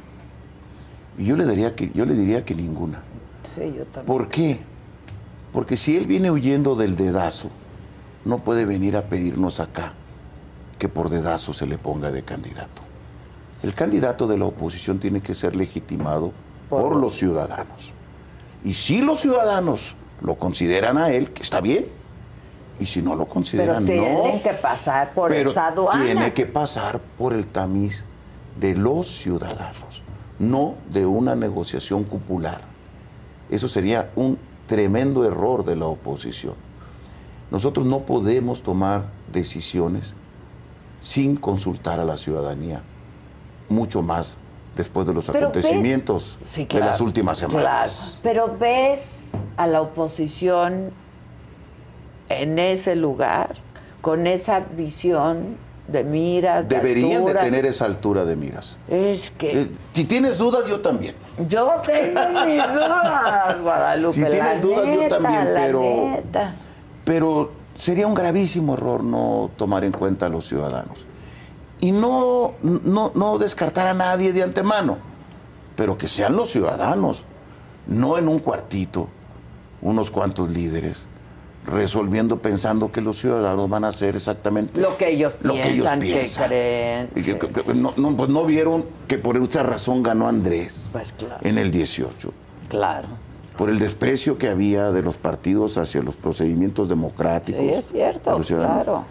Si la marcha la hubieran convocado el día 13, solo los partidos políticos, la marcha no, hubiera tenido nadie. ese éxito. Sí, no, no, claro No que hubiera no. tenido ese éxito. Hubiera sido de acarreados. Entonces, ¿por qué no aprender de eso? Claro, ojalá. ¿Crees que hayan aprendido esa Deben de aprender de eso. Deseo que aprendan porque los partidos son insustituibles en un sistema democrático. Sí, sí, claro. El sistema democrático es un sistema de partidos, pero de partidos democráticos. Por eso hay crisis en el mundo, en muchos sistemas de partidos, no solamente en México. En muchos países han surgido López Obrador o Bolsonaros o Trumps. Porque hay una crisis, hay un alejamiento de los partidos de la De la ciudadanía. ciudadanía, claro. Lo que hicieron el pasado 13, que los dirigentes fueron, participaron, pero fueron atrás de manera discreta. Que hubo un solo orador, una gente impecable. impecable. Todo eso los acercó a los ciudadanos. Si votan mañana o pasado, cuando se vote, de acuerdo a lo que era la exigencia de la marcha, rechazando la reforma, eso los volverá a acercar a los ciudadanos. Y si toman en cuenta a los ciudadanos en la designación de los candidatos para que no sea un reparto cúpula, exacto. Entonces tenemos grandes posibilidades de ganar la elección del 24. ¿Tienes tus dudas? Tengo mis Yo dudas. también. Tengo mis dudas de que Yo estén a la altura, pero no, no les miro de otra. Sí, no, pues van a, a ver, si, acabar, si- si claro. no, si ya son tan ciegos, si no ven que sin los ciudadanos no vamos a ningún lugar y que a los ciudadanos hay que generarles confianza y no que se sientan que no están siendo utilizados por nadie, sino que están luchando por causas, por cosas buenas para el país, entonces van a fracasar. Si lo hacen, van a ganar. Y ellos van a ganar. Si nadie los quiere quitar de dirigentes. Sí, no. Pues ellos son. Bueno, cada partido los quieren. Hay algunos que los quieren quitar de dirigentes. Pero es cosa de ellos. Pero eso es asunto Eso es- de eso ellos, ¿no? eso- Sí, cada la quien ropa sus sucia que la. Sí, Sí, sí, cada quien su iris, diría un amigo mío. Cada quien, su, quien iris. su iris. Pero yo espero que tengan la sensibilidad, creo que la, que la están teniendo, creo que el haber ido a la marcha fue una muestra, creo que el haber anunciado que votarán en contra la reforma constitucional ya lo, lo- lo están acercando. Y la marcha los obliga Y a yo votar espero, así. y yo ¿no? espero que eh, siga este proceso de acercamiento a los ciudadanos. Ojalá. Para que el candidato o la candidata, hombre o mujer, presidencial de la oposición, tenga la legitimidad también de los ciudadanos. Ojalá. ¿Cómo va a pasar finalmente Guadalupe López Obrador a la historia? Como un traidor a sus propias palabras. Andrés Manuel dijo que no iba a militarizar el país, que iba a regresar seis meses a los generales, a los cuarteles, y hoy los tiene en el poder máximo que hayan tenido los generales desde 1946, que fue el último general presidente. Marina acaba de otorgar un eh, 1.200 millones de pesos para hacer dos carreteras. La Marina, cuando la Marina no tenía nada que ver en Sí, esto. bueno, siquiera la fueron a hacer en la costa. No, Sí, para que esté la exacto. marina, Y ¿no? no, Y no va a ser en la no. costa, ¿no? ¿Cómo- cómo es posible? Es una mili... A ver, Quedó el que, el que dijo que iba a poner en paz a. Trump cuando era candidato y terminó sumiso a Donald Trump. Todavía hace poco. Más allá de lo que si tenían razón o no Twitter de quitarle a, Sí, sí, a pero él, dijo más que allá, qué él fue a votar para que Trump regresara. Él que persigue ahora migrantes. Él que pasa por la marcha ayer y no ve a las madres víctimas de la violencia y de desaparecidos.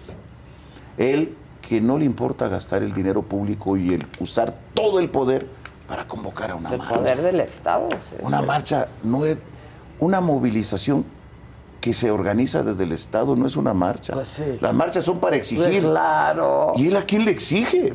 si él es el presidente. Claro, para eso ¿De quién se cuida? Dice, decía ayer, por eso es bueno resistir. Pero resistir a qué si tú eres el poder? Claro. Sigues hablando como si fueras oposición. Claro, sí, sí. Tú eres el poder. Tú tienes el ejército. Resistir. Tú tienes el dinero. Oye, y el 70% de aprobación, según él. ¿A O qué sea, resistes? Claro. ¿A qué te manifiestas? ¿De qué resistes? De unos ciudadanos que salieron a marchar, además pacíficamente, a defender un órgano. Y además con orden, con organización. ¿no? Sí, no el santo desmadre de ayer. Lo de ayer fue un desmadre. Sí, sí, Un sí. desmadre, Por la verdad. O sea, Por cierto, el- qué cosas tan difíciles, porque cualquier provocador puede llegar ahí y hacer lo que hicieron con Marcelo. sí, Claro. claro. ¿Por- para qué? Y, en- y, y, y lo de Debe- Marcelo, pues mira ya. Pero pueden hacer otras cosas. Y, y claro. nadie desea eso. Nadie. Nadie desea eso, porque el país de- se debe y se merece estabilidad. Y las diferencias que tenemos hay que resolverlas en las urnas. Sin duda. De manera democrática, debatiendo, discutiendo. Deberían de tomar medidas de seguridad con el presidente. Que las toma. Pero ayer, pues es que era la Genki Dama. eh, que quería cargar su batería. Su energía. Extrañaba. Sí, yo creo Extrañaba que sí. Hoy estaba profundamente. feliz en la mañanera. Sí, profundamente su, No su- sé. su batería. Entonces, la marcha del 13 fue un éxito. Se va a parar la reforma. Él nos va a confirmar después su talante autoritario cuando en una ley secundaria quiera modificar términos constitucionales de, de la ley Sí, secundario. Y se no va va a pasar. Va a ir a la corte y va a perder. Porque además vas a la corte y vas al tribunal electoral. Sí, claro. Porque ahí tienes, puedes ir a las dos instancias. Hay que ir a la corte y al tribunal. Y luego va a querer colonizar el INE. Pero mientras va a la corte y la corte decide, pues se pone, se pone. Pero en- los plazos. Entra en vigor. Los plazos de la ley secundaria, eh, como ese carácter electoral tiene plazos muy estrictos, Ya. tiene que resolverse mucho más rápido. No puede hacer la Corte lo que está haciendo con lo militar. Exacto. Porque en eso no hay plazos Ah, estrictos. En la ley sí. En la ley electoral, como tiene plazos perentorios de Ya. cuándo inicia un proceso, y tiene que estar todo resuelto antes de ese proceso. Lo tienen Lo que- tiene que resolver rápidamente. Ya. Y va a ir por la verdadera cosa que trae, querer poner presidente del INE. Ya. Si puede, pone a Bartlett, ¿eh? No. No, no, ¿cómo no? No, a ver, ¿por qué no? Si es héroe, además. Si es héroe nacional en Morena. Sí. Bartlett es héroe nacional en Morena. Habla de fraudes. Ya desde ahí, ¿no? Ya, ya, ya, ya, no me chingues, ¿no? Sí, Dice, ya de, de- de- de Bartlett, Napito, Napito como líder sindical, Espino como guía moral, eh, ético de el pez, el verde. Sí. Dices tú, desde ahí, desde el brazo de ellos, nos llaman a que hay que acabar con los fraudes. Si puede, pone a Bartlett. O asciende a Rosario Piedra. Pues ya mira, esta salió bien dócil. Sí, Ya claro. Sería una chulada de presidenta del INE.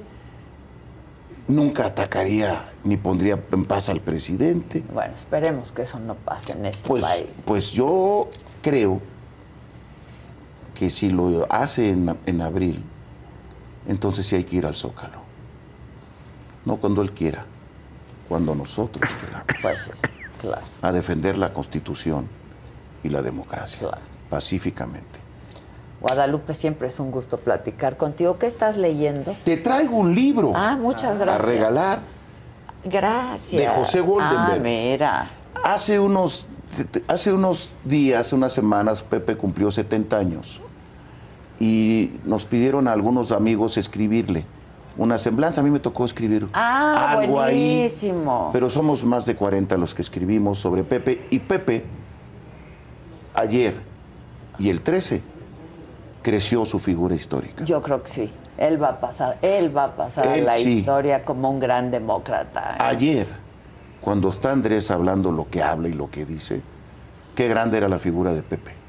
El día 13, claro. y el día 13. Por eso te quise regalar. Muchas gracias. Es de apenas hace unas semanas. es de Muchas gracias. Lo acaban de presentar. Sí, lo acaban Oye, de qué presentar. padre. Muchas gracias. Gracias, Guadalupe. A ti. Muchas gracias. Este. Oigan, pues como ustedes lo pidieron, sigue el, el bazar. El ya- pop-up. el Pop- pop-up, pop-up ya no sé ni cómo llamarle. La boutique de la saga. La boutique de la saga. Así es que vamos a ver. Gracias.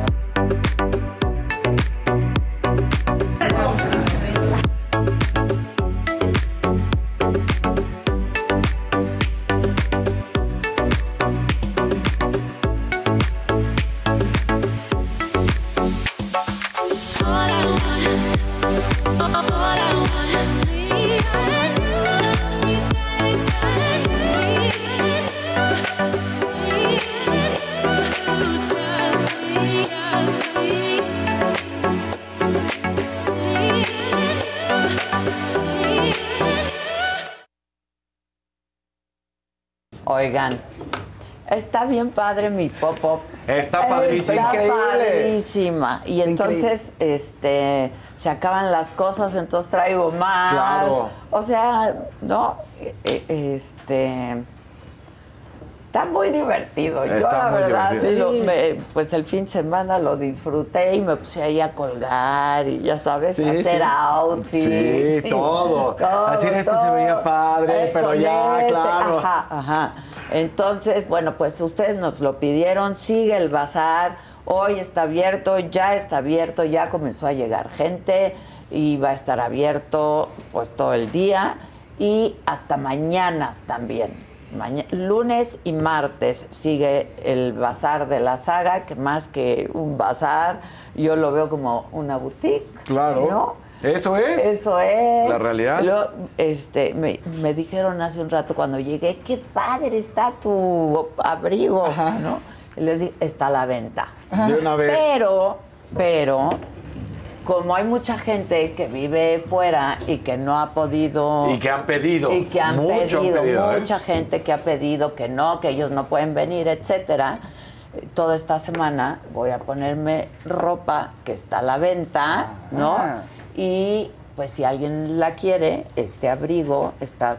¿Qué tal está mi abrigo? Padrísimo.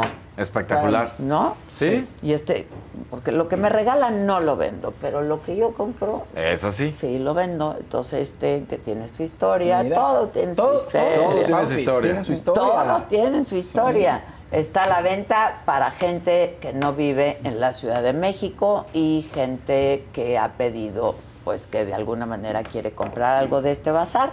Entonces llámenos al WhatsApp que aparezca ahorita, va a aparecer en su pantalla nuestro número del WhatsApp y les damos información de este abrigazos. Saco abrigo, está súper ligerito, Sí, cool. está muy bonito. En fin, eh, así está el bazar. Ahora, triste noticia de Héctor Bonilla, a mí me dio mucha Mucha tristeza, tristeza. mucha tristeza, la verdad. Y, ¿sabes? Fer Bonilla mandó un comunicado, este, bueno, él lo comunicó en redes, ¿no? Comunicó cómo había muerto su padre y también escribió a los contactos que tiene. Oh, Yo lo conozco, lo conozco muy bien a Fer. Y habló muy bonito, como a, a- a la gente cercana les decía, pues mira, vivió como quiso vivir. Su vida privada la mantuvo en privado, o sea, Siempre, total, siempre. nunca hubo escándalo, nunca daba de qué hablar. actorazo. La gente lo queríamos muchísimo. Y ya estaba enfermo. Cuatro años llevó con Sí, la batalla contra el cáncer. Sí. Pero dice Fer que murió muy en paz, sin dolor, con la gente que lo quería. Entonces, eh, creo que eh, fue un cierre bonito, al parecer, de vida. Fue lo que Fer comunicó, ¿no? Su hijo Fer Monilla comunicó eso. Y, y te da gusto, dice, "Va- vamos a celebrar mejor, no a estar tan tristes. O sea, sí, obviamente duele, ¿no? Pero celebremos que vivió como quiso vivir y el legado que tiene y la gente que lo quiere, ¿no? Entonces, pues invita, hoy hay un homenaje póstumo en Bellas Artes, es abierto para quien quiera ir. Eh, no tenían muy claro el programa, o sea, si quién va a hablar, quién va a estar, cómo va a ser, pero pues quien quiera rendirle un homenaje y pues el cariño a Héctor Bonilla, ahí está. Hizo más de 100 obras de teatro, hizo telenovelas. Sí, sí. sí. Rojo Amanecer creo que es la película que más la gente lo ubica mucho más. Pero también hizo cosas de doblaje, por ejemplo. Estuvo en algunas series, pues, trascendió que había estado en El Chavo del Ocho, en un capítulo, pues que, que decían que no estaba tan a gusto, ya sabes, hablando la gente, en fin, no sé, eh, pero creo que hizo grandes trabajos y las telenovelas, muchos lo recordamos también en gran trabajo en las telenovelas, ¿no? Ser un actor muy completo y muy querido y muy profesional. Como decíamos, su vida privada, no sabemos Sí. qué onda con sus nada, escándalos, claro. nada. Entonces, es triste, pero... muy creo- querido, Sí. muy admirado. pero el, mensaje verdad. de Fer, eh, creo que te da, se sintió, sentía hasta bonito. Dije, mira, es cierto, celebrar y darle el amor, ¿no? En la despedida Sin a Héctor. Bonilla. Sí, sí, sí. Y como se la merece. Sí. ¿eh? Y como se la merece. en Bellas Artes, Bellas además. Artes, claro. Uno de los grandes actores de nuestro cine. Sin duda, sin duda. Oye, y... Este, buen dos naranjitas, sí Ah, te vas, interrumpo. sí, sí, sí, Ay, sí, por favor. Aunque sí. no debe de ser, pero, pero te voy a explicar. Porque sí, primero, Magdalena la Escorpiona. Ah, de feliz de verte espectacular en las chingonas acá en Monterrey. Ay, gracias. Nos fue muy bien. en Dice, mil gracias por la invitación. La saga sí cumple. Besos y bless. Los amo. Ya, gracias. La saga siempre cumple. Y siempre. luego, justamente por eso, también Magali López pone, Adela, te agradezco mucho por estos días en Los Cabos. Nos la pasamos increíble, mi pareja y yo. Solo me resta decir mil gracias y que cierres este año con más bendiciones. Te mando un fuerte abrazo a ti y a todo tu equipo. Qué padre. Gracias también a Grupo Posadas que nos patrocinan, Claro. que nos ayudan para poder, ¿no? Este, darle a nuestros, pues nuestros, ¿qué les llamo? Acompañantes. Sagadictos. Sí, nuestros Pues, sagadictos, Son nuestros- nuestros acompañantes. Sí. que luego nos Nuestra dicen- familia extendida. Exacto. Ajá. Nos dicen que nosotros les hacemos la mañana, ustedes nos las hacen a nosotros también con su compañía, Sí. con sus comentarios. Muchas gracias. Just- Los Cabos, padrísimo. Qué bueno que lo disfrutas. Justo en el pop-up, el viernes, este, pues, que andábamos aquí, ya sabes, y todo, fuimos. Y cuando llegamos, Casarín, qué gusto, ¿cómo están? Y platico, foto, y y foto, y, cómo estás. claro. Y lo que acabas de decir, oye, gracias, no, gracias a ustedes por la estar verdad, con nosotros. Sí, la, verdad, sí. Ahora, sigue y hay nueva merca, ¿no? Hay Eh, nuevos sí, productos. sí. Se acabó el viernes muchísimo. El sábado, entonces ayer se volvió a llenar la tienda con nuevas cosas. Y es la tienda, la verdad. Sí, pues sí. Pero una de esas ya la dejo puesta. Ya, una vez. No es mala Pongo y vendo, pues me Claro. pongo y vendo, me Exacto, pongo y bien. vendo, ¿no? Eh, hay de todos los precios, de todos los gustos, de todas las tallas, este, aunque no me lo crean, de todas las tallas. Los zapatos están siendo Sí. difíciles. Lo de la las verdad. tallas es muy fácil que la gente entienda para que vea que sí le crea. ¿Te gusta el oversize? A mí me gusta Sí. el oversize. Uso muchas cosas de hombre. Ajá. Muchas cosas de hombre.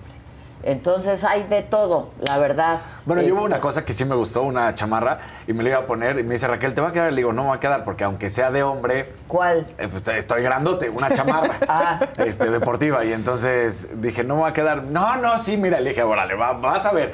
Pues sí, nada más le hice así y aquí no pasó de Ya esta no parte.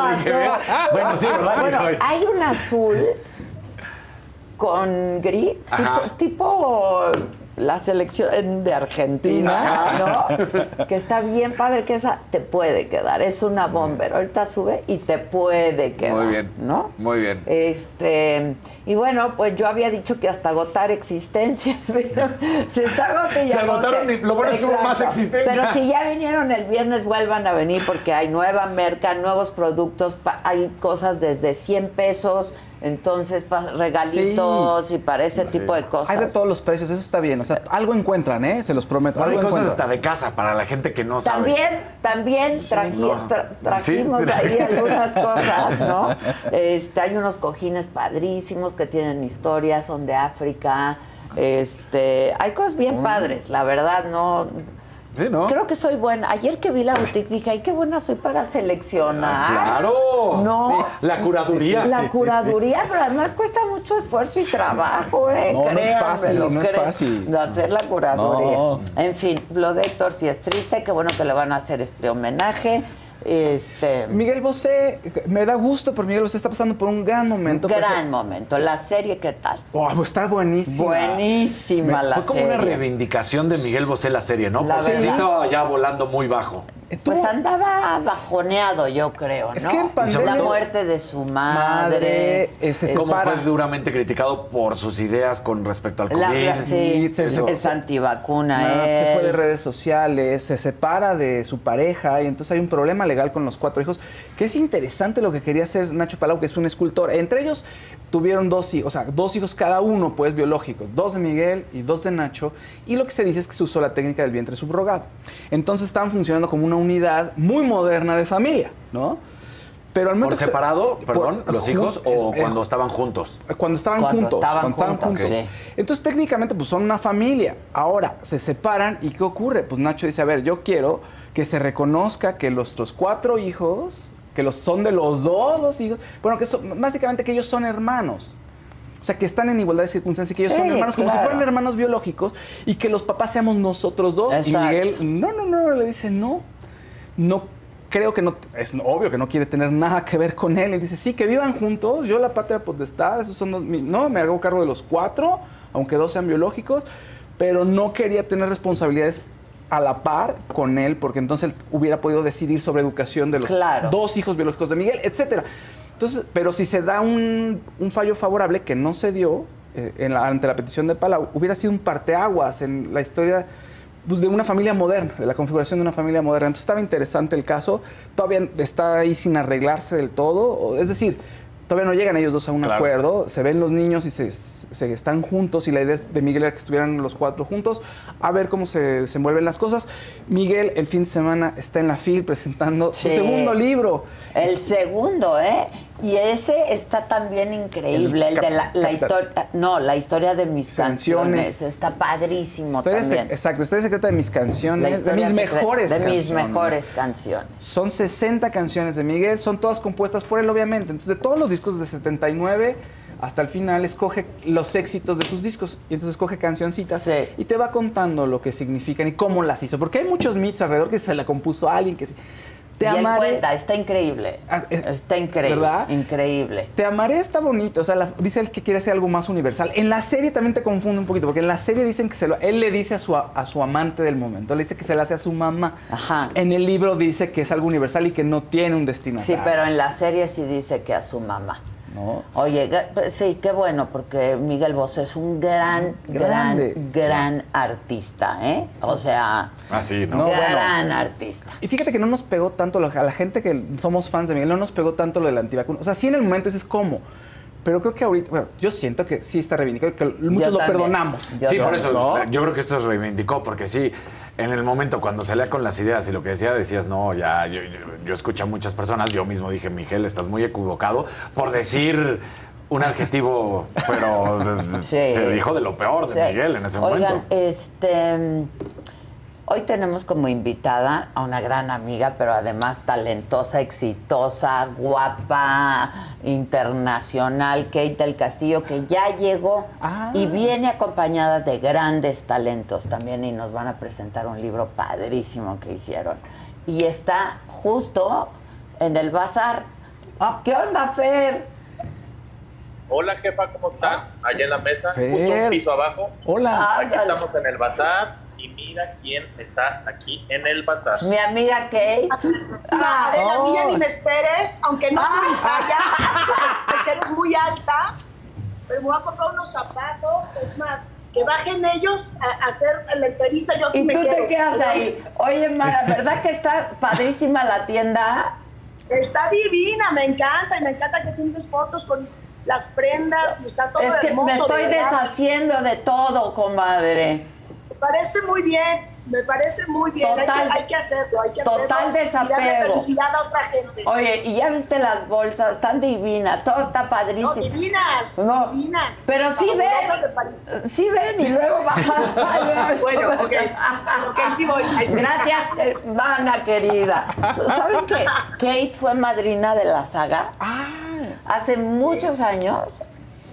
¿Se acuerdan este escándalo que Algo, algo sí, sí, te estaba oyendo Ah, todavía. Este escándalo que hubo cuando ella manda un tuit alguna vez Ajá. diciendo que el Chapo, no sé Chapo. qué, no sé qué.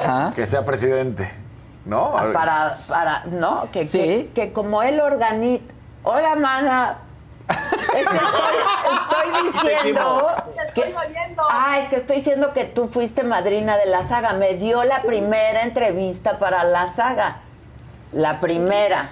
Y aquí estamos, mana. Gracias, tienes Pues buena mano. Te quiero mucho. Me da mucho gusto que sigas con la saga y que, que sea para muchos años más, Ojalá. para bien y todo. Te deseo siempre lo mejor. ¿sabes Y yo a quiero? ti, yo te quiero más, yo te quiero más. Aquí te veo. Ahorita nos vemos. Ya estás, ya estás. Bueno, este, y ella me dio la primera entrevista para la plataforma, no para el canal, para la, la plataforma. plataforma. ¿Qué tiene esto? ¿Siete, ocho No, pues, años? sí. O quizá más. Susan, dinos. Sí. Susan, ¿dónde estás? Ah, Sí. qué bueno que Y la quiero mucho y, y es, es, es grande la que. Mónica Mar- Medina, amarillito. Adela, quiero tus botines, ¿ves? O sea, tú lo que ¿Ves? dijiste, ¿Qué me número pongo. calzas, comadre? Te- les digo que el problema ha sido un poco el cacle. Y Sí. ahorita Kate dijo, no me quedan. no. La ropa, la ropa así como dices, como oversize y todo, yo creo que es muy flexible para toda la gente que Pero además tengo a la mejor costurera de México, ¿eh? Ahí se las paso. Ah, oye, fíjate, A mí me ha arreglado unos vestidos de noche que, que, que, que- o sea, ya sabes. Claro. Pero tienes que pasar el contacto tú. Sí, yo paso el contacto, por supuesto. Natalia Schonert, para que veas. Adela, vi una bolsa que quiero, la Dior de la muerte. No sé si sigue allí, vivo fuera de México, pero yo pago como sea todo. Ah, qué esa, esa bolsa es una joya y me costó un trabajo conseguirla. Que no había Lemoj. Le mo- no había, no había, yo quería fuerzas esa bolsa. Me está costando mucho trabajo desprenderme de ella, pero todo sea por los aguinaldos de los muchachos. Eso. De los, de los angelitos. De los angelitos. Un verdecito de Esperanza. Martínez. Presente como cada mañana. Saludos y buen inicio de semana. Soy Sagadicta y besos respetuosos a Ay, Fausto. Y ay. aunque ya tengo 69 años, soy fanchorruca. Eso, Franco. Fanchorruca. Fanchorruca. Fanchorruca. Fausto Ruca. Para ti, Fausto. Exacto, Te mandaba sus Fausto besos. Ruca, Exacto. Oye, a ver, ¿qué otras cosas pasaron? Shakira eh, dio de qué hablar mucho en redes sociales por dos cosas. Principalmente por un baile que hizo en su Instagram. Ah, caray. Sí, pues si lo pueden poner ahí, mira, ahí está su baile. Y todo el mundo enloqueció. Millones de vistas, millones de likes, ya sabes. Y es un reto que está lanzando a sus fans, ¿no? Que la idea es que estén bailando, es- está bailando monotonía, ¿no? Bailando pasos de bachata. Y la idea es de que alguien salga de cuadro y regresen a tiempo para cantar el Ah, coro. Mira, ahí se va. Tiene que regresar a tiempo. Ese es, está cantando de monotonía, etcétera. Entonces tiene que regresar a tiempo la pareja. Bueno, eso por un lado. Pero sale de un lado y regresa del Exacto, otro. regresa Eso del otro. Sí, sí, sí. Ahora, por otro lado, le mandó, cambió de abogados porque saben que tiene un problema legal en España con el fisco. Entonces cambia de abogados. Pero la estrategia es la misma. Entonces le manda una carta al juez diciendo, a ver, yo no debo eso que dicen que debo. O sea, yo no debo cuarenta y tantos millones de euros. Ya no vivo ni en España. Yo, yo no, yo, exacto, de 2012 a 2014 ya no vivía ahí. Dice, yo me fui a vivir ahí formalmente en 2015, un año después, o finales de 2000 de 2014. ¿no? Conoció en 2010 a Piqué, tuvieron sus que pero no formalizan hasta 2015. Y lo que dice la hacienda española es no, porque la ley dice que si pasas 183 días aquí, ya Mm. vives aquí. ¿No? Entonces un te- están peleados, ya no hay posibilidad de negociación, según se dice, o sea, ya se quemó esa nave. Entonces, Pero ahora esos tres años previos, digo, como pregunta, también tendría que ver el fisco cómo, porque igual le dice 183, ¿pero qué? Como ilegal, porque en esos, en ese tiempo anterior no estaba casada, entonces no es Claro. que tuviera residencia oficial. Yendo y viniendo. Y dice que ella que sí pagó, que hubo, o sea, que pagó 90 millones por, pues, por la actividad que tuvo. O sea, que ella pagó ahí lo que tenía que pagar y que no era residente. 90 millones son un chorro. ¿Cuántos De debe tener claro, para pagar? sí, 90? bueno, bueno. Entonces, eh, al parecer el fisco va por cárcel, ¿no? Y por una multa de 23 millones de euros extra, además de lo que debe. Pero bueno, pues lo- los abogados van a tratar de, de mantenerse en su versión de que ella no vivía ahí, ¿no? Esto, ella no, no, no. Y dice ella, le manda, la carta que le manda a la juez es, esto es una medida, pues ahora sí que es un ejemplo para ejemplificar que nadie se sale con la suya, como diciendo que la están atacando y que mediáticamente se ha manejado mal porque ya se cree que ella es culpable, ¿no? ¿Qué otra, qué otra cosa trasciende? Que no quiere que Piqué viva en Miami, que puede visitar a sus hijos cuando quiera, pero no quiere que compre casa y que viva ahí, no lo quiere tener cerca, según se dice. bueno, Bueno, pero ahí sí no ya, puede, ahí sí no según se puede. dice. no. Ya, ya. Eso está, pues no quiere tenerlos cerca. Pero sí, pero no puedes ella decidir. puede decidir Claro, dónde va a eso vivir ya. el hombre o dónde va a comprar una casa. Eso es embriagada de Pues poder. sí, ya, ya, sí. sí, no, viste. Pero bueno, podría vivir en otra ciudad de Estados Unidos a lo mejor. No, No, sé. pero de todos modos, si te ¿Pero separas, no qué? puedes decidir dónde viva la pareja. Yo a sé, menos que haya pero- una orden de restricción. Pero puede vivir aún así en la misma ciudad, nada más con su Con distancia. su distancia. ¿Sabes que Supuestamente es- este es parte de los acuerdos que ellos se sentaron y dijeron, a ver, estos puntos para acordar, yo necesito tal, tal, tal, tal, y Piqué dijo, sí, está bien, y yo necesito esto, esto el otro, y acordaron esas cosas, eso es lo que se dice. Se dice también que ya no está en España, pero por el problema legal que está en Estados Unidos, entonces son las cosas que se dicen, pero por lo menos, y por lo pronto, está bailando muy contenta bachata. Está bien, Divirtiéndose. hace bien, que baile bachata, pero que no le diga a su exmarido dónde, ¿Dónde va vivir? a Sí, no, ahí sí está. una casa. Ahí sí está equivocada. Yo creo que Totalmente. sí. es muy digo. cruel, ¿no? Y es como muy... Pero... No, no es cruel, es absurdo. Es- sí, no puede. O No, ya sea, sé. es un sinsentido. ¿Cómo Pobre que- Piqué. Ay. Oigan, ya, y por último, eh, Cazú, la novia de Nodal, perdón que lo refiera así, pero la conocimos mucho por Cazú, o sea, por Nodal. No, Es una reggaetonera y tiene su talento, obviamente puede vivir con ese Sí, talento pero en sin México necesidad no de conocíamos. Exactamente. Entonces, eh, se presenta en el Flow Fest, un festival de reggaetón aquí en México, importante, y no sintió que la gente estuviera a tono con su presentación. Mm, Y para animarlos, pongan el video de lo que se le ocurre decir. a ver. Eh, Pongan el video, por favor. Están tristes porque perdieron, ¿no? No,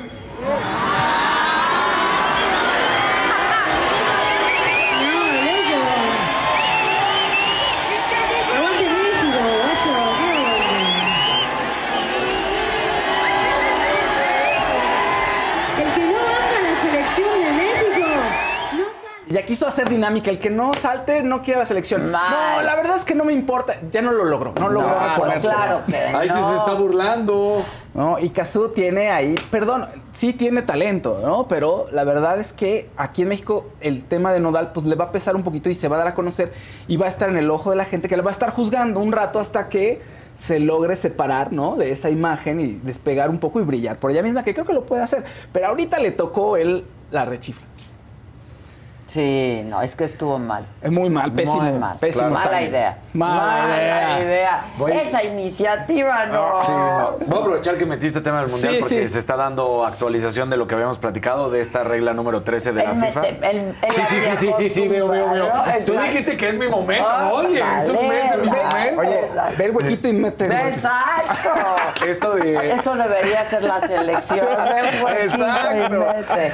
Eh, como la bandera de Como Estados Unidos cuando pone esto de que quita el escudo de la República Islámica, está pidiendo entonces que por lo menos de acuerdo al artículo 13 venga esta separación del Mundial. Como dicen que igual y no se va a dar, que entonces están pidiendo un castigo de 10 partidos porque va de acuerdo a las mismas leyes de discriminación. La FIFA ahorita acaba de decir que va a, tomar en cuenta el caso, que va, lo va a analizar y va a dar una respuesta. Recordemos que es el partido que sigue de este grupo entre Estados Unidos e Irán. Entonces, en una de esas, pues sí le cae un castigo a los Estados Unidos, veremos, pero acaba ya de decir la FIFA que va a tomar medidas en el asunto, cartas en el asunto y va a ver a analizar. Ok. Oigan, pues por último mencionar lo de Guillermo del Toro y los Arieles. Lo- Es lo- que de veras, No, ahorita que lo decía Guadalupe Es que no puede ser. El viernes lo mencionamos, ¿no? Porque se dio a conocer que Leticia Guijara dijo, ¿saben qué? No hay dinero. No hay dinero. No hay dinero. No hay dinero Es que La UNESCO, estaba yo leyendo por ahí, sugiere dar el 1% del PIB a la cultura. En esta administración no creo que están dando el punto 2. Sí. Sí, ni punto 10 O llega. sea, no, no, no, no, no. no. Entonces, pues no hay. No, sea, tristísimo. y que Guillermo tenga que decir yo meto. Él la- dijo, yo, me, yo pago el costo de Ah, las estatuillas, dijo eso. Luego Go dijo, yo pongo uno de mis teatros. Exacto. Con la fuerza de vida de muchos cineastas. ¿eh? Eso sí, siento que Del Toro, qué bueno que lo hace y está increíble, pero lo sentí como una voz muy solitaria. Cineastas Es que grandes. todos y ta- debieron de haber Sí. hecho y yo. todos, sí. Oigan, y yo, yo, y también, venga. y yo Yo voy, también, claro. y yo entrego, Pues claro. y yo hago. O Porque sea, además no puedes pedir o estar a la esperanza, como también te lo dijo Canelo en su momento, de que estas grandes figuras exitosas de México que la rompen en el exterior lleguen a salvarte. O sea, no, no puedes estar esperando todo el tiempo que No, Guillermo no, del Toro lo haga, ¿no? O sea, no, todos los pues demás no. tendrían que sumarse Y dice- y decir, vamos juntos. Y dice, y este argumento que tienen, que si es el, el cine es de Omar Chaparro y de Derbez, dice, no hay voces mexicanas. Muchas mujeres que tienen una voz importante que merecen que, ser escuchadas Claro. y celebradas. Y si el Ariel se pierde, entonces, claro, quedas a merced de un cine comercial, pero necesitas esa otra parte y necesitas la celebración del cine y de voces que aporten algo, aunque, pues claro, no van a ser lo taquillero que puede ser Derbez, sí, se entiende. Pero es muy importante y creo que falta muchísimo. Es que siempre está Guillermo Claro. del Toro ahí al Siempre, por eso- rescate, y no puedes estar esperando todo el tiempo que te salve. No, pues si no es obligación, No, es un oye. acto de generosidad que yo creo que tienes razón. El resto debe de alguna manera No, sumarse. sumarse. Si no es con lana, pues yo ¿Dónde está? entrego un Claro. Arie para que sea una gran fiesta al cine mexicano. Claro, ¿no? incluido Derbez y Diego Luna Claro, y y, que que vengan. son taquilleros. Claro, y Cuarón y todos, que vengan y que apoyen también. Y El negro. Exacto, el negro también. Claro. Frausto de Cultura dijo, sí, está abierta la puerta. Pues sí, pero eso podría, mm, a lo mejor no hay, si no hay dinero y si ya se asignaron los presupuestos, bueno, pues a ver cómo le van a hacer y si es que tienen la voluntad de, de dar más dinero, no sé cómo esté el tema presupuestal, si se pudieran dar una partida extraordinaria. Pero bueno, en fin, es muy triste y ojalá se resuelva. Y si lo resuelven particulares, pues qué bueno, no deberían solamente ellos, ¿no? Pero, pues ahí está. Ah, Esas son las noticias. Oye, estaban preguntando que comentes algo de Luisito Comunica que no sé de qué va. No, Que, a ver, ahorita- tampoco sé, ahorita pero ahorita lo checo. que se Habrá hecho pasó, alguna cosa. dicen aquí. Pero no sé qué sea. algún youtuber haciendo algo este, Eh, extremo sí. y de- no este perdiendo cómo se llama eh, perdiendo el respeto de algo. Ah, ah sí, tal El cual. Clarín de Argentina dice Luisito Comunica fue a ver Argentina-México, chocó cuando iba al estadio, le robaron el asiento y terminó festejando con la camiseta albiceleste puesta. Ah, o sea que se puso la playera de... Eso fue también mucho ¿Qué que se puso la playera de la Argentina, sí, y aquí está la foto que está él con la playera de Argentina. Eso es una de las cosas que también fueron duramente criticados de estos mexicanos, de nuestros mexicanos compañeros que dicen, ya sabes, que se sienten argentinos, pero es lo mismo que se sienten Ah, españoles, ya. pero es los mismos que se sienten, o sea, Ya, que tienen ya, esta cuestión de decir, no, yo soy, entonces, pues también, ¿no? Eso es lo que, o sea, yo, por ejemplo, todas las veces dije, va a ganar Argentina, eso nunca quiere decir que no apoyaba a Argentina, o sea, yo nada más estaba seguro de que íbamos a perder, pero yo estaba con México a, a muerte, sabiendo sí. que íbamos a perder. Pues, pues sí, pues sí. Yo voy a disfrutar mucho mi Petrus Magnum Canelo. Eso sí. Canelo. Y a ver si así ya se aplican con la selección, ¿no? Mira, lo que más espero de... de- En ocho años ni no dos ni- goles no han, no, no- no han marcado un gol. no han marcado No. un gol en dos mundiales. O sea, yo por eso te digo. Es un fracaso. En cuatro años. Es un mega fracaso. Para el fútbol. Sí, en- en- en- yo lo que espero, en verdad, es que después de este fracaso, porque eso es, se den cuenta que hay que renovar toda Ojalá. la institución deportiva del fútbol, que hay que cambiar, que hay que hacer Ojalá. arreglos, que los directivos tienen que salir, algunos renunciar por dignidad propia, lo cual pues no sé si vaya a suceder o no, pero, pero cambios en todos los niveles. Ya. Bueno, Kate ya está aquí, pero antes, hay una historia que conocimos por, por medios y, ¿no? Eh, es una historia terrible. Ella se llama Julisa Chukhas. Tiene un hijo de seis años y tiene a una bebé recién nacida. Su parto fue en el Hospital General Agustín Ojorán en Mérida, Yucatán. Resulta que ahí una trabajadora social la entrevistó y la discriminó por su orientación sexual y fue señalada como un mal ejemplo para sus hijos. Y entonces esta trabajadora social decidió que su hija recién nacida fuera enviada al Centro de Atención Integral al Menor en Desamparo, que está en Yucatán. Para recuperarlo, Julisa reunió la documentación que le solicitaron, acudió a la Procuraduría de Protección de Niñas, Niños y Adolescentes del estado de Yucatán. Le pidieron que llevara a su otro hijo de seis años para que lo entrevistaran. O sea, ¿cómo someten ¿no? a una criatura a ese proceso? Sin embargo, lejos de entregarle a su bebé, le quitaron a su hijo mayor porque no tiene acta de nacimiento. Vamos a hablar con ella. Es Julisa Chukjas. Ella está en Mérida, entiendo, en Yucatán, creo que está en Mérida, y también con su abogada, Dariana Quintal Narváez. Ella es abogada y es defensora de derechos humanos. Julisa y Dariana, ¿cómo están? Muy bien, buenos, buenos días. Hola, buenos días, Adela. La Este, pues, saludo con mucho gusto este, y para pues darle más voz, eh, darles voz, porque esto es increíble el que haya pasado esto. Julisa, cuéntanos un poco lo que pasó. ¿Qué, fue lo que pasó exactamente? ¿Cuánto tiempo llevas sin tus hijos? ¿Qué es lo que te dijeron? A ver, háblanos un poco de, esta historia.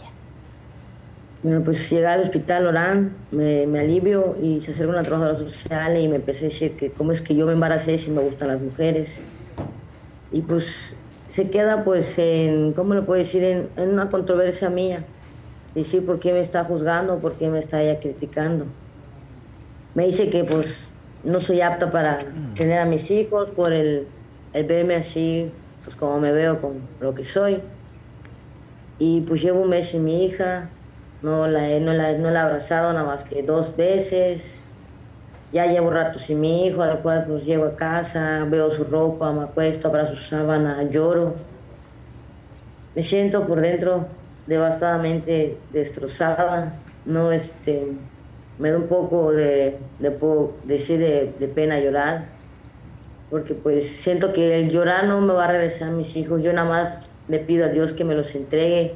Estoy en las manos, confío en mi licenciada y sé que ella me va a ayudar a que mis hijos estén otra vez conmigo y en casa otra vez. A ver, háblanos un poco. ¿Por qué tu hijo no tiene un acta de nacimiento y con qué método es que tuviste a tus hijos?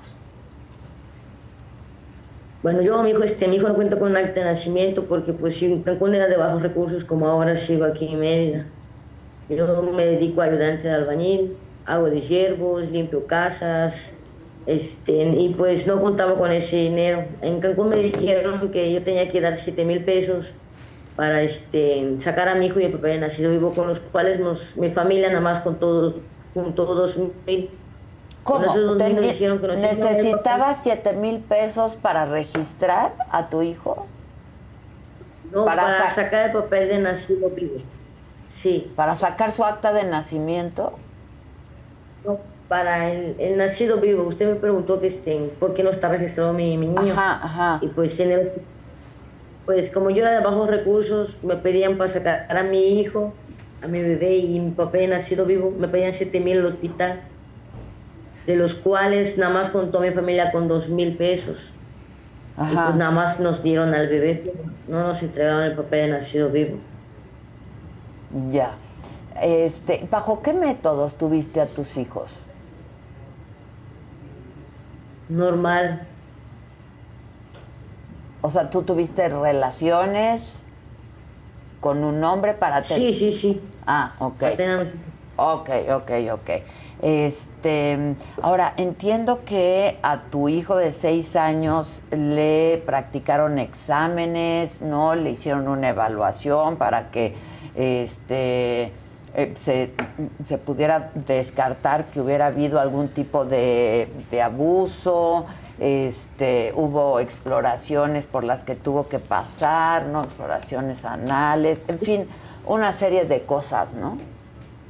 Sí, sí, de hecho, este, yo en ese aspecto como madre me siento pues molesta porque fue algo que a mí no se me consultó y creo que como madre tengo derecho a, a que se me preguntara y me dijeran que si estaba o no estaba de acuerdo con el examen que se le iba a hacer a mi hijo. Y pues no se me consultó. Y por eso ley es lo que a mí me, me molesta. Ya. Este, y supongo que tú le habías enseñado a tu hijo que pues sus partes no nadie tiene por qué tocarlas. Sí. En el papel salió que él estaba lastimado de este lado. Ajá. Pues, a, mí, a mí me consta de que mi hijo, pues le habrán dicho que lo iban a explorar y él no habrá querido y en el forcejeo, pues lo habrán obligado y se habrán lastimado. Y siento que en ese aspecto es algo que me afecta más como madre porque no sé con qué pensamiento vaya a salir mi hijo y me vaya a decir que lo han lastimado. Porque él así se, se ha de sentir lastimado. Porque le he dicho que pues no se deje tocar sus partes. En todo este mes, eh, Julisa, ¿has, ¿has visto a tu hijo? No me dejan verlo. No lo has visto para nada. Para nada. Y pues le comento, siento que si yo pido ver a mi hijo va a ser algo más doloroso para mí, para el separarnos. Porque él está tanto como acostumbrado conmigo, tanto yo como él. Si yo voy a chapear, él está conmigo. Si voy a un trabajo particular de albañil, él está conmigo sentado. Si vamos a, un- a algún otro lado, pues él siempre está conmigo. Prácticamente es mi compañero, el que está conmigo en todo momento. ¿Y tienes pareja, Julisa? No, por el momento no, por lo mismo, porque yo he hablado con él mucho y le he dicho que prefiero dedicarme a crecerlo a él como él nada más era. Ahorita uno y ahorita con mi hijo, prefiero hoy en día le comparto a usted crecer a mis dos hijos antes de que tener una pareja, ya verlos realizados ellos y ya Dios dirá cuando se presente mi oportunidad de yo poderme juntar. Pero, Pero por tú- ahora me dedico, quiero dedicar a mis dos hijos. Tú decidiste tener a tus hijos. Fue Sí. una decisión tuya tener a tus hijos y tú educarlos y criarlos sola. Sí. Ahora, este, a tu hija me dices que has podido verla en un par de, de ocasiones. Es una recién nacida, es una bebé recién nacida. Solo dos veces he visto a mi hija, la he tenido en brazos. Pues le puedo decir que le he cantado mientras yo la veía, la, le canto. Y la tengo. Solo dos veces me permitieron verla. ¿Y por cuánto tiempo?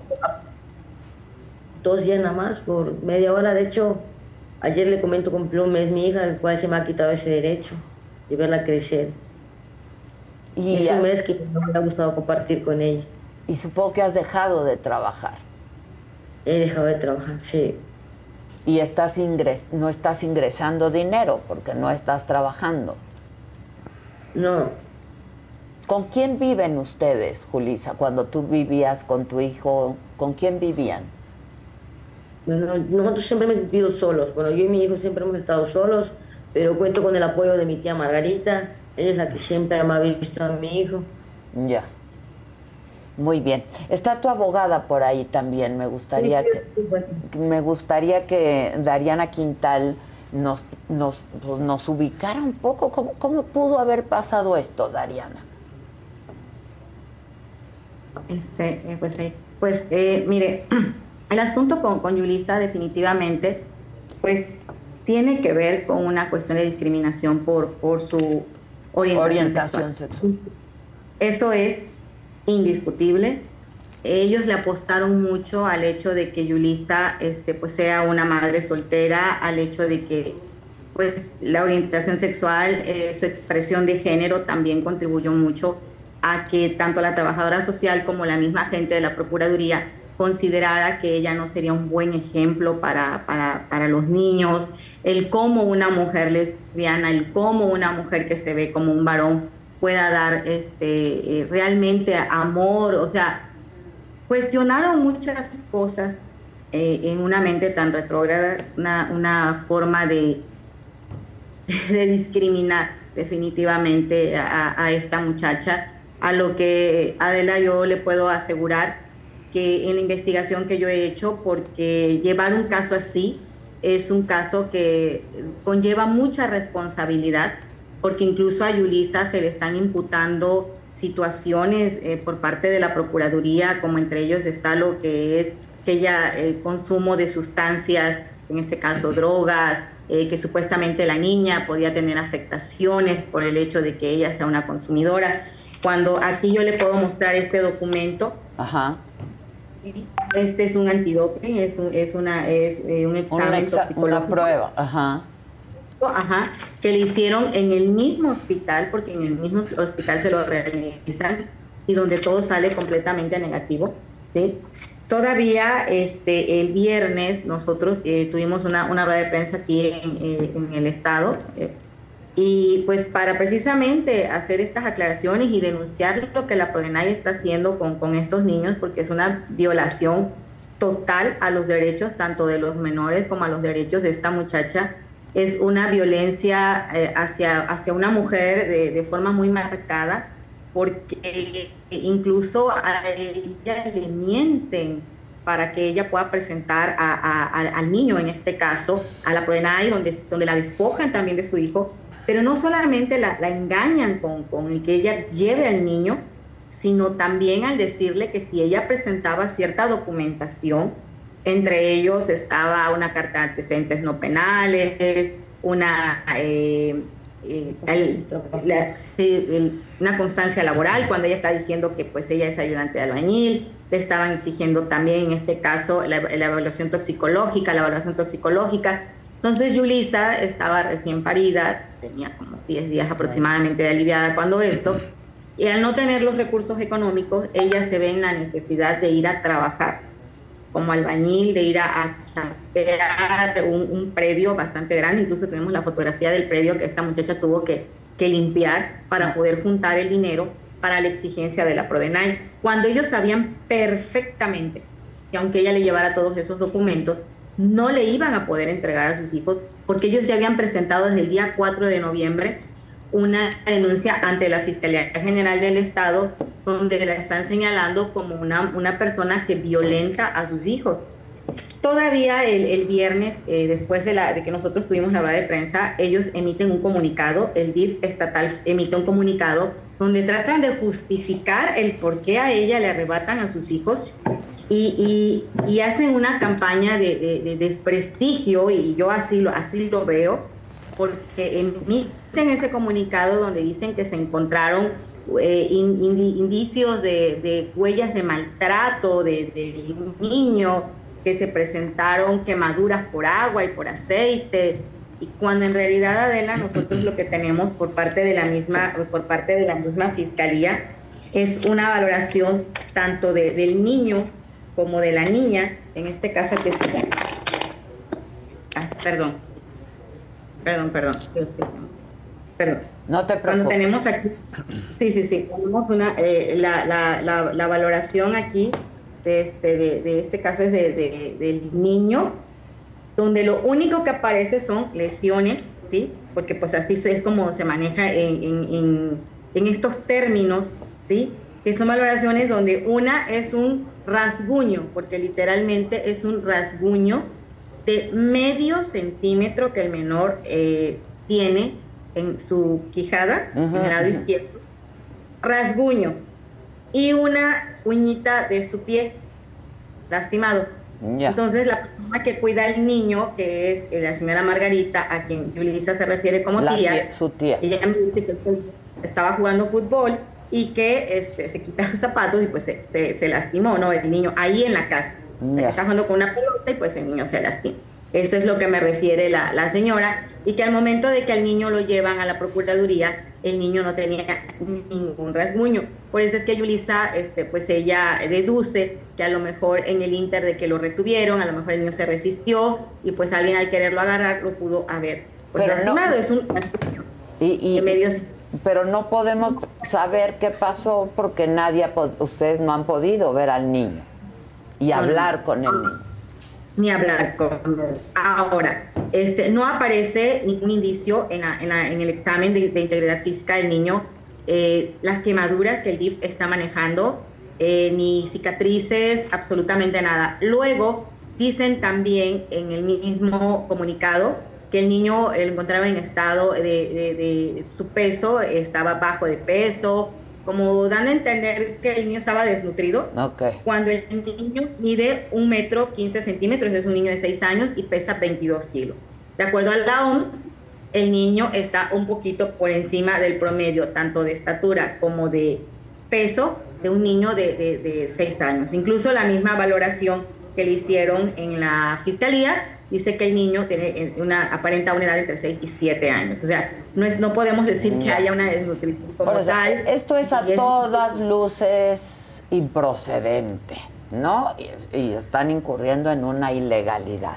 Ahora, ¿y ¿cómo va el proceso, Dariana? ¿Cómo, cómo va? Y, y- y, pues, ¿cómo va a poder resolverse esto?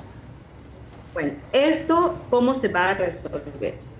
La manera en que esto se puede resolver a, a- a- a criterio de una servidora es a través de la misma investigación que haga la fiscalía.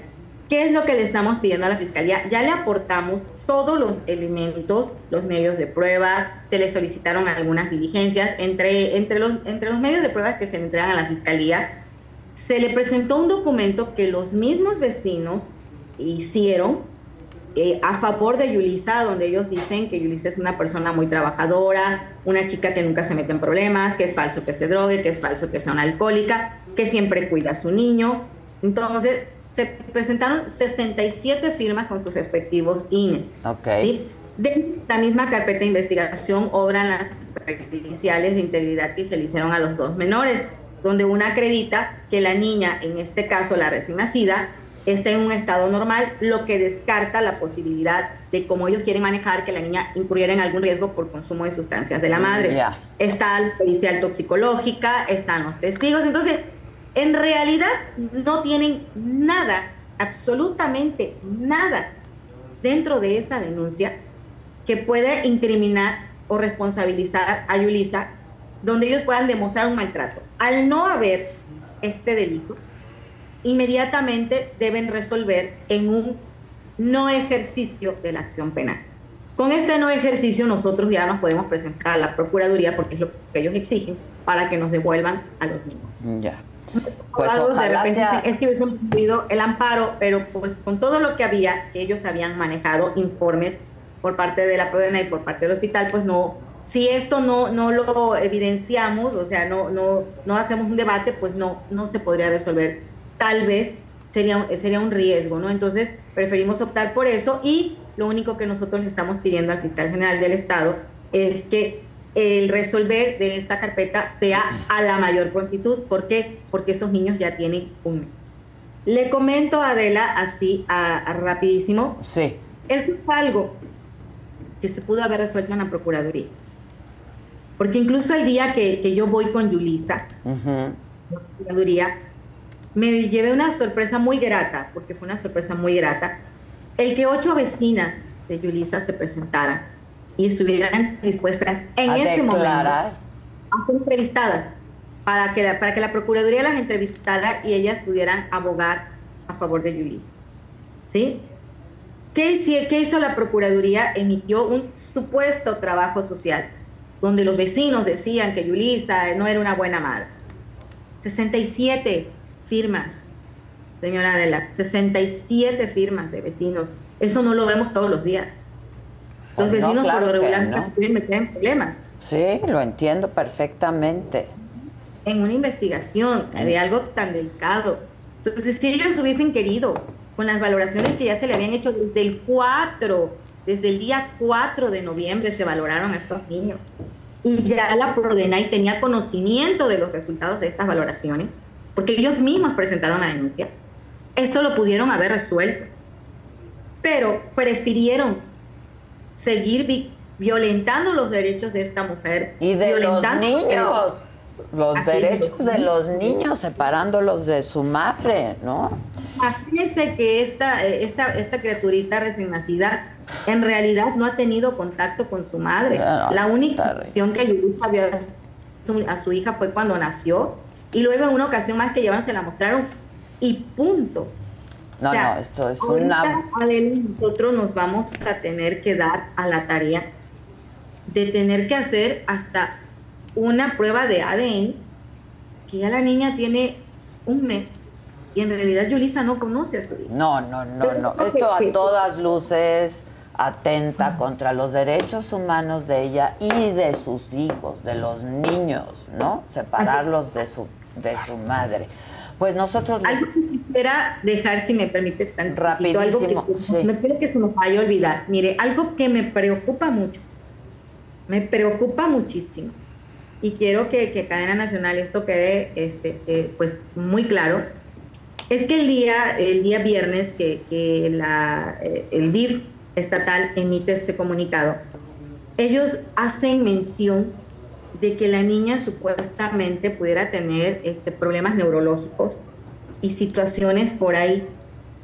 Cuando la niña nace, la niña nace bien, tan es así que hay una pericial por parte de los médicos forenses de la fiscalía donde acreditan que la niña estaba en completo estado normal. Ya. Cualquier cosa, porque son capaces, son capaces de hacerle algo a la niña para que ellos puedan justificar todas las bajezas que le han hecho a esta muchacha. Entonces, cualquier situación que le pase a la niña, nosotros responsabilizamos al gobierno del estado de Yucatán, porque son ellos los que han tenido, únicamente ellos, acceso a la menor. Se la llevaron a un lugar que aquí se conoce como Caimede, el centro que usted mencionó al Sí. inicio de la entrevista. Un lugar donde incluso han violado niños, los mismos custodios de ese lugar. Que luego se quisieron lavar las manos y reclasificaron delitos porque no convenía al Estado decir que en ese lugar se habían violado sexualmente a unos niños. Y al final lo sentenciaron por supuesta violencia intrafamiliar. Eso lo resolvieron en plena pandemia a la voz de ya. Aprovecharon la pandemia para resolver eso. Pero ese es un lugar completamente inseguro, donde incluso en muchas ocasiones yo he evidenciado con pruebas de que ahí drogan a los niños cuando empiezan a tener una situación de ansiedad, ¿sí? los empiezan a dopar, los empiezan a hacer pacientes psiquiátricos. Hubo una persona aquí en Yucatán, incluso eso está en, los, en redes sociales, donde ella asegura que a estos niños los drogan y efectivamente a mí me consta porque niños que he rescatado de ese lugar me lo han mencionado, ¿sí? Entonces tenemos pruebas de, de, de esas situaciones. Entonces sí son capaces, por supuesto que son, de, eh, eh, en este caso, de poder dopar a, un niño grandecito, imagínese, a una recién nacida. No, Entonces pues, nosotros no. aquí responsabilizamos al gobierno de Yucatán de cualquier cosa que esa criatura. Pues ojalá escuchen Porque esta la- entrevista, ¿no? Y atiendan este asunto y de manera expedita, porque hay una bebé recién nacida, tiene un mes, no conoce a su mamá, no ha tenido contacto con su madre.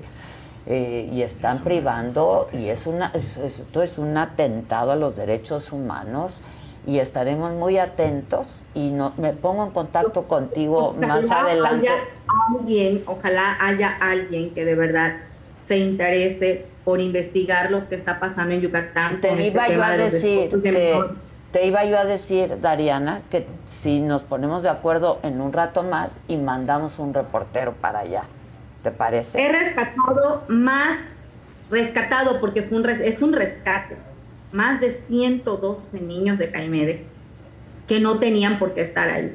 Que es el mismo modus operandi de eh, las falsas denuncias, de la discriminación y siempre a personas de zonas marginadas. Bueno, yo te mando a alguien en un ratito más y, y- y vamos a darle acompañamiento, por supuesto, a Yulisa, que me parece que, pues, si no se documenta nada de lo que están diciendo es una cosa terrible. Tú nunca has consumido ningún tipo de sustancias, Yulisa. Tus hijos están bien, tu hijo ha sido bien alimentado, bien tratado. Pues estaremos acompañándolas. Este, ese es mi compromiso. Les agradezco mucho por lo pronto.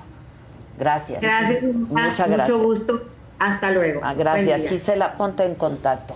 Y este Kate ya está ahí, Gus Prado ya está aquí y están acompañados de unos talentos increíbles. Paloma, que conocí a Paloma, me maquilló para este para la entrevista con Lupita D'Alessio en eh, Los Ángeles, una mujer increíble, talentosísima, hasta me veía bien, imagínate. Ay, no, claro. Sí, este, pero mientras, para que se sienten, se pongan sus micros y todo esto está pasando en el Bazar de la Saga. Venga.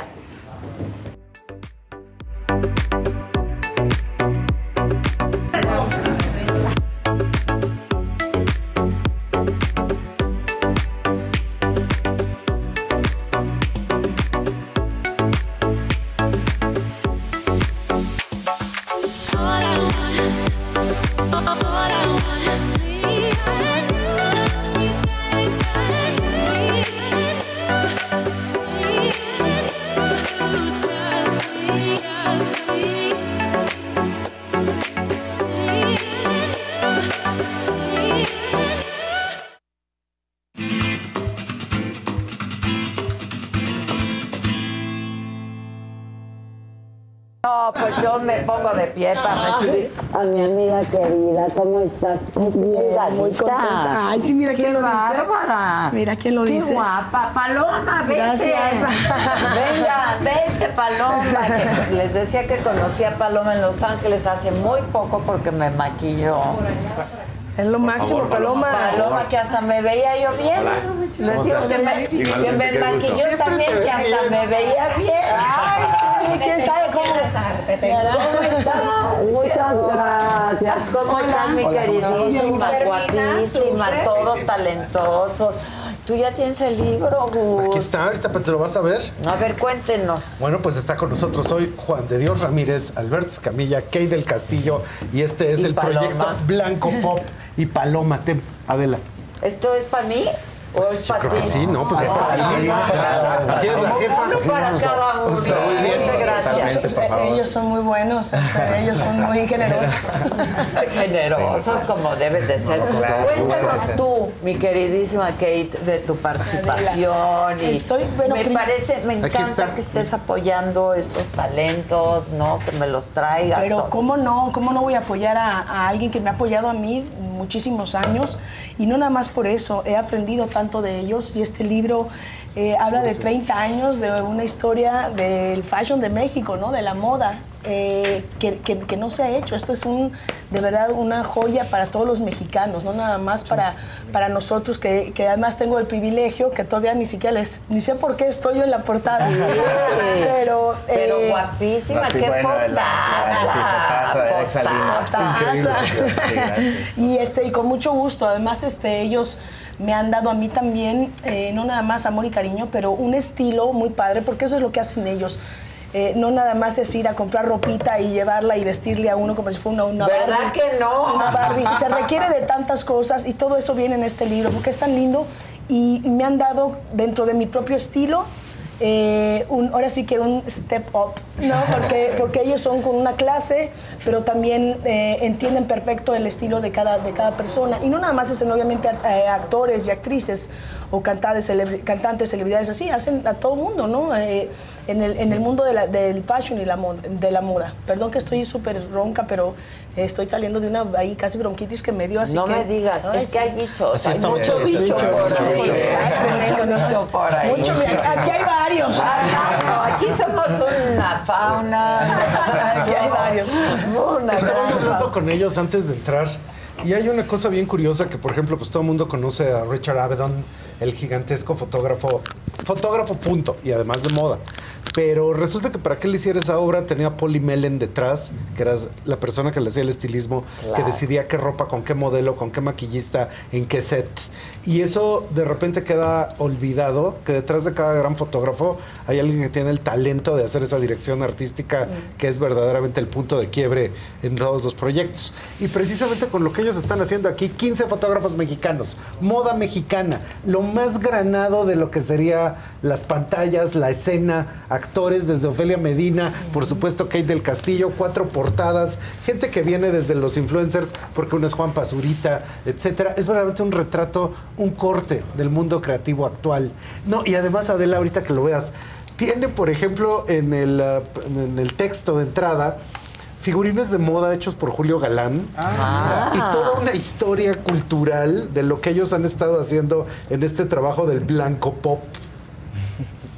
Cuéntenos, a ver. ¿Qué te contamos? Venga, Johnny, pero cuéntalo todo, Juan de Dios. Nada, primero, muchas gracias por invitarnos, por estar aquí. Al Estamos muy, muy felices y muy agradecidos. Eh, gracias, eh, Gustavo, por tus palabras. Tú que, tú que conoces el que tema, este que eres un experto. Es un maestro. el tema, es maestro en el tema. Entonces, Claro. pues muy, muy contentos con este, con este nuevo hijo que tenemos, que se hizo, tardamos dos años durante toda la pandemia. eh, se decidió hacer este libro porque existía todo este material que estaba en discos digitales o en fotos análogas impresas y era o se va a un cajón de los recuerdos y se guarda en un closet o qué pasa con todo esto. Y creemos que es bien importante compartirlo, compartirlo sobre todo con las nuevas generaciones, con los chavos, que tengan un, pues, algo referencias y que se acuerden que, que se hacía en el 2010, en el 2015 o en el 2000, que tengan, porque no solamente es el trabajo de Alberto y mío, es el trabajo de mucha gente como Paloma, maquillistas, Gran diseñadores, diseñadores de ropa, eh, fotógrafos, pues es todo un equipo de gente, toda una gran familia que estamos atrás de esto. Y de- de todos fotógrafos. mexicanos. Y todos mexicanos, eso es lo que está Sí. increíble. Justo el libro, bueno, se divide en tres partes. La primera parte es como una parte histórica, cuando Juan de Dios empieza a hacer como styling y bueno, todo, toda la sensibilidad, y ya sabes, empieza. Y bueno, la segunda parte, el segundo capítulo, perdón, es eh, cuando él y yo nos ya, eh, pues nos conocemos y empezamos a trabajar juntos y hacemos eh, esto de Blanco Pop como una agencia de estilismo, que primero teníamos una revista electrónica, que era de moda, de diseño, de bienestar, de música, eh, video, etcétera. Y bueno, después eh, se transforma en esta agencia de styling donde trabajamos igual haciendo eh, comerciales, eh, cine, bueno, hemos hecho tres películas, eh, etcétera. Y el capítulo 3, que es un capítulo especial que hicimos, eh, donde invitamos a 60, un poquito más de 60 personajes que, bueno, casi todos o todos son amigos nuestros. Este, y bueno, hicimos editoriales, justo con lo que estaban diciendo, editoriales con todo, todo eh, los make-up artists, los hairstylists, eh, los personajes, evidentemente, los fotógrafos, la ropa, todo, son, eh, todo es mexicano. Y Todo es como un mexicano. homenaje que le hacemos a México. Digo, sí, propiamente eh, hay las, eh, las, las imágenes que son un poco más folclóricas, por decirlo de alguna manera. Pero bueno, pues México te inspira de todo y México no nada más es el folclore, hay todo, es, es eh, vanguardia, es, es todo. Entonces, hay editoriales, bueno, que tienen muchísimos temas y pues, pues en el libro con estos personajes increíbles. Por una cosa sorprendente, estos editoriales solo están aquí. Sí, claro, Porque solo solo libro, se hicieron sí. para aquí. Sí, Claro, totalmente. No claro, están en wow. ningún otro lugar. Y, nadie- y- y son inéditos, no, nadie Por los eso, ha por visto. eso, sí, nadie los ha visto. Claro, y los personajes están bien padres, como por ejemplo, bueno, Irene Azuela, está Cecilia Suárez, Ofelia Medina, Kate del Castillo, evidentemente, que es una de, nos- de nuestras portadas Pero además hermosas. está increíble. Me, me encanta que estés apoyando Claro. Con de todo mi verdad. amor, con todo mi amor y además agradecimiento. Ellos son tan generosos que no. Y, y sabes que está padre también, que te obligan, en el mejor de los sentidos, a usar prendas mexicanas, a usar gente de verdad, Hay grandes diseñadores, diseñadores hay enormes, que a nosotros, por ejemplo, yo que no vivo aquí, lo que más me gusta es que quiero que me vista alguien mexicano, ¿no? Claro, traer, claro. poder estar orgullosa de eso. No siempre se puede, entonces, pero ellos prácticamente te, te obligan mucho a eso y eso lo agradezco mucho también. Ahora sí que como en los Óscares, ¿de qué bien estás vestida hoy? Exacto. Por ejemplo. Ah, esta de Juan Carlos Mesa. Hoy es Ah, de Mesa. Justo, que Sí. Mesa, Juan Carlos Mesa es este un amigo nuestro español. Es un diseñador español que escribió el prólogo. Él, él- es catedrático, da clases en las maestrías de estilismo de moda y justo él es una persona súper conocedora de lo que es el estilismo y escribió el prólogo de este libro y vino con parte de su colección a estar esta semana con nosotros y apoyar para estar vistiendo a la señora Kate Ah, qué bien. ¿Te vas a quedar toda la semana? Sí, No, mañana vamos a tener una, no toda la semana, tengo que regresar toda la me- presentación. sí, sí. supuesto. ahí vamos a estar Es- mañana. Esperamos ahí. Es un cóctel que estamos, eh, que es para todos los colaboradores del libro. Es para la gente que Los colaboró. Los van a estar los fotógrafos. van a estar los modelos, los actores, los maquillistas, los peinadores, los diseñadores, los diseñadores de accesorios. Toda la gente que estuvo involucrada en el libro se invitó casi exclusivamente a esta gente. Qué maravilla. Y va a haber prensa, increíble. por Va a supuesto. haber prensa. Va a haber prensa. poquita prensa. Amigos, Sí, amigos de la amigos, prensa. amigos, amigos. Tus amigos colegas. sí. ¿Cómo se conocieron? Bueno, Paloma, ¿cuánto tiempo llevas tú con Kate?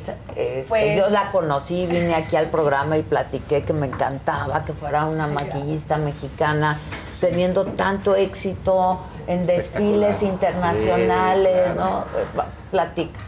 No, pues mira, este, gracias, gracias. Primero que nada, pues nada, con Kate me presentó Johnny Beto, yo por eso trabajo Ah, con Kate. Ellos fueron sí. el puente, aparte, aparte Adela, o sea, como comenta Kate, son súper compartidos, o sea, nos conocimos, hicimos equipo, yo a México solamente vengo a trabajar con ellos, es muy raro, la verdad, cosas que yo haga aquí es con ellos nada más.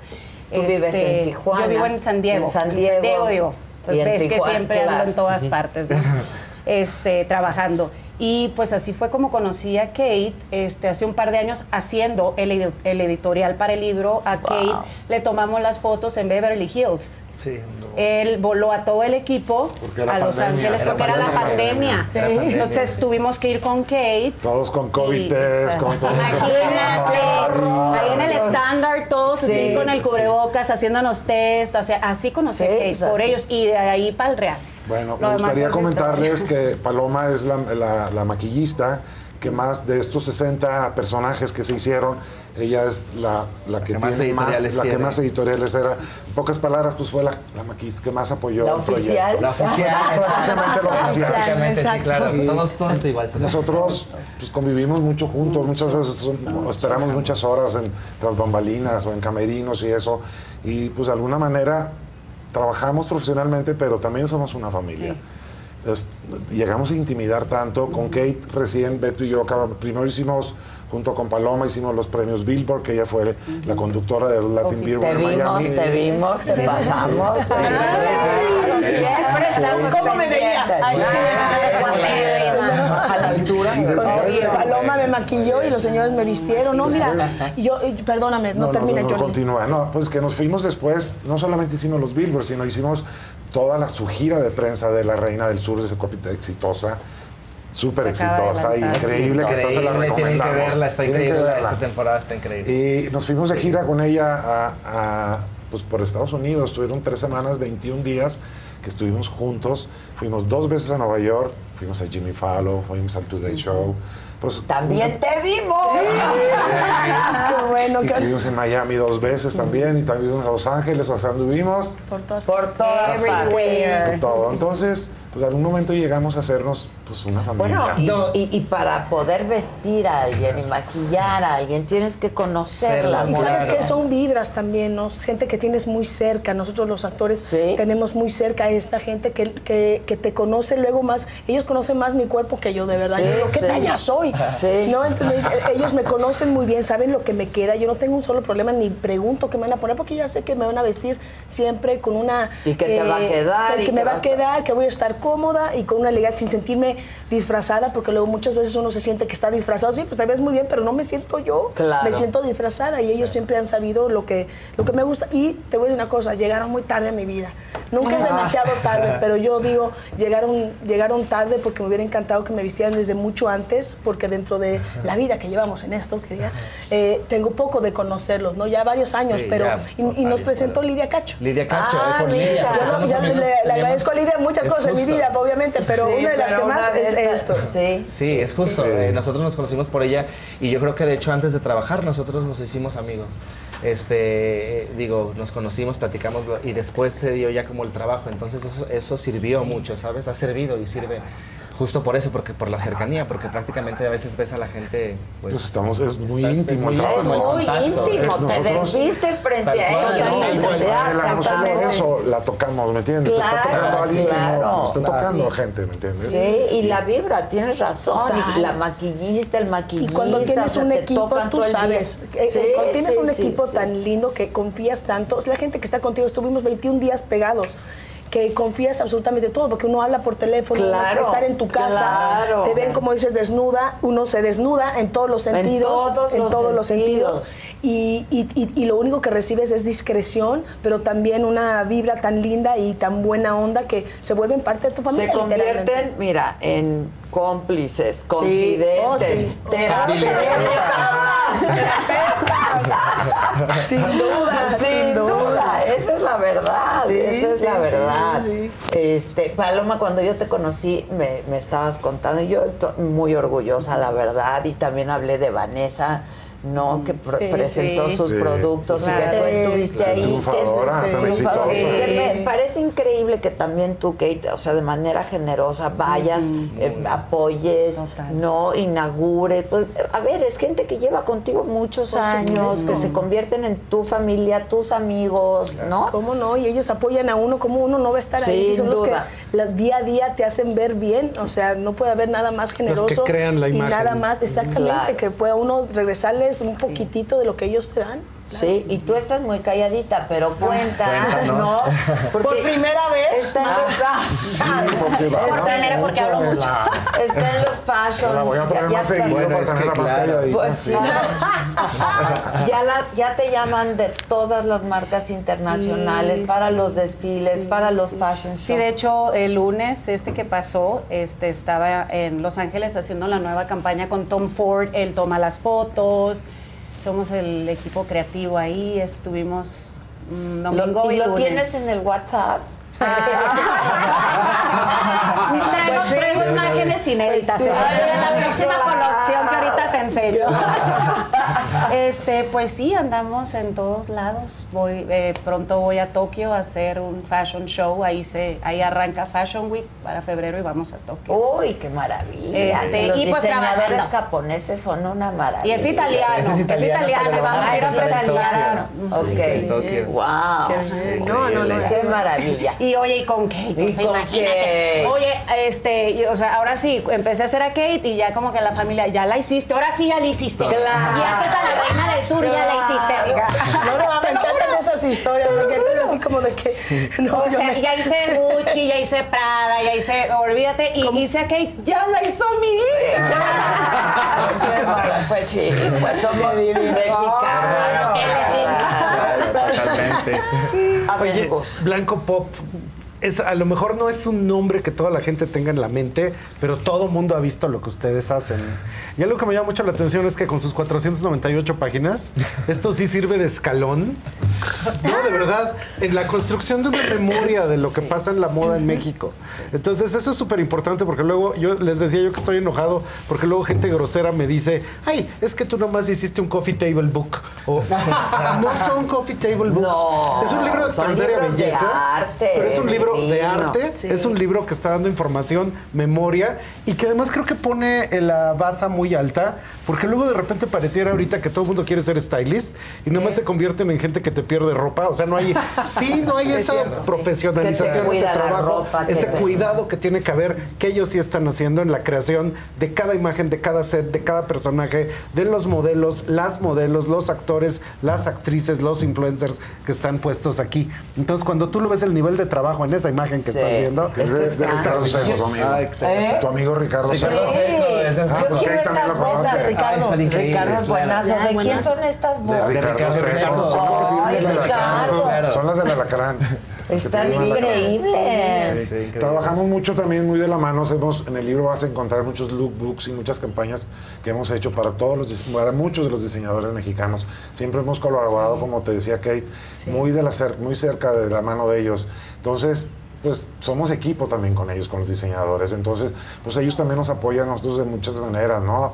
Nos prestan a lo mejor sin, sin decir, ¿para quién es la ropa? No. Si ustedes lo van a hacer, confían en nuestro Claro. En el Nos trabajo, prestan porque sabe que el Claro. resultado, como lo menciona, por ejemplo, Héctor Car Pardo, aquí el RP de, de Louis Vuitton, dice que cuando Beto y yo nos acercamos a Louis Vuitton, a la marca, para Que pedir difícil, algo que ¿eh? es difícil, él dice que él siempre tiene la seguridad de lo que vamos a hacer va a ser algo que, le, que a Louis Vuitton le, le- le funciona, bueno. que le va a gustar, ¿me entiendes? ¿Estas botas qué? No soy fan, pero... No, Esto es de no, no, Lorena Sarabia, este, Sí. este, este Lorena, poncho, que es Lorena. Buenaza. Oh, buenaza, Sí. buenaza. ¿Y Yo- ustedes yo cómo convocaron, cómo llegaron a la conclusión cuando realmente alguien está haciendo estilismo en dirección de arte? Pues parte fundamental es que el fotógrafo es el que va a tangibilizar la, vis- la visión Sí. que tiene el styling, Sí. ¿no? Entonces, ¿cómo escogieron estos 15 fotógrafos mexicanos? Pues básicamente porque con la mayoría de esos 15 son los que trabajamos usualmente, Mm. ¿sí? Y porque los 15 son una visión completamente diferente uno de otro. Entonces, es padre tener esas, esos 15 ojos, ¿no? Diferentes. Entonces, es como el trabajo de nosotros, pero cómo se puede hacer tan diferente más cuando cambias de un fotógrafo, ¿no? De un estilo de un fotógrafo a otro fotógrafo. Pero todo esto hubo un previo mucho. Por ejemplo, tú ves las fotos de Mariana Zaragoza, están inspiradas en Miroslava, en el cine Miroslava mexicano, en el cine Wow. clásico. Hay fotos, hay de fotos Remedios de esto es de Remedios Varo, por ejemplo. Sí, claro, Remedios Varo. claro. Hay, hay cosas inspiradas en De Julio Galán, hay cosas inspiradas en los Ahí es la propuesta de cada Sí, fotógrafo. Claro, exacto. Trabajamos muy de la mano con los fotógrafos, muy entonces hacemos ¿Quiénes propuestas. participaron? Eh, principalmente está Iván Aguirre, es el, prin- el- el que tiene más editorial, está Alex Salinas. Alex Salinas.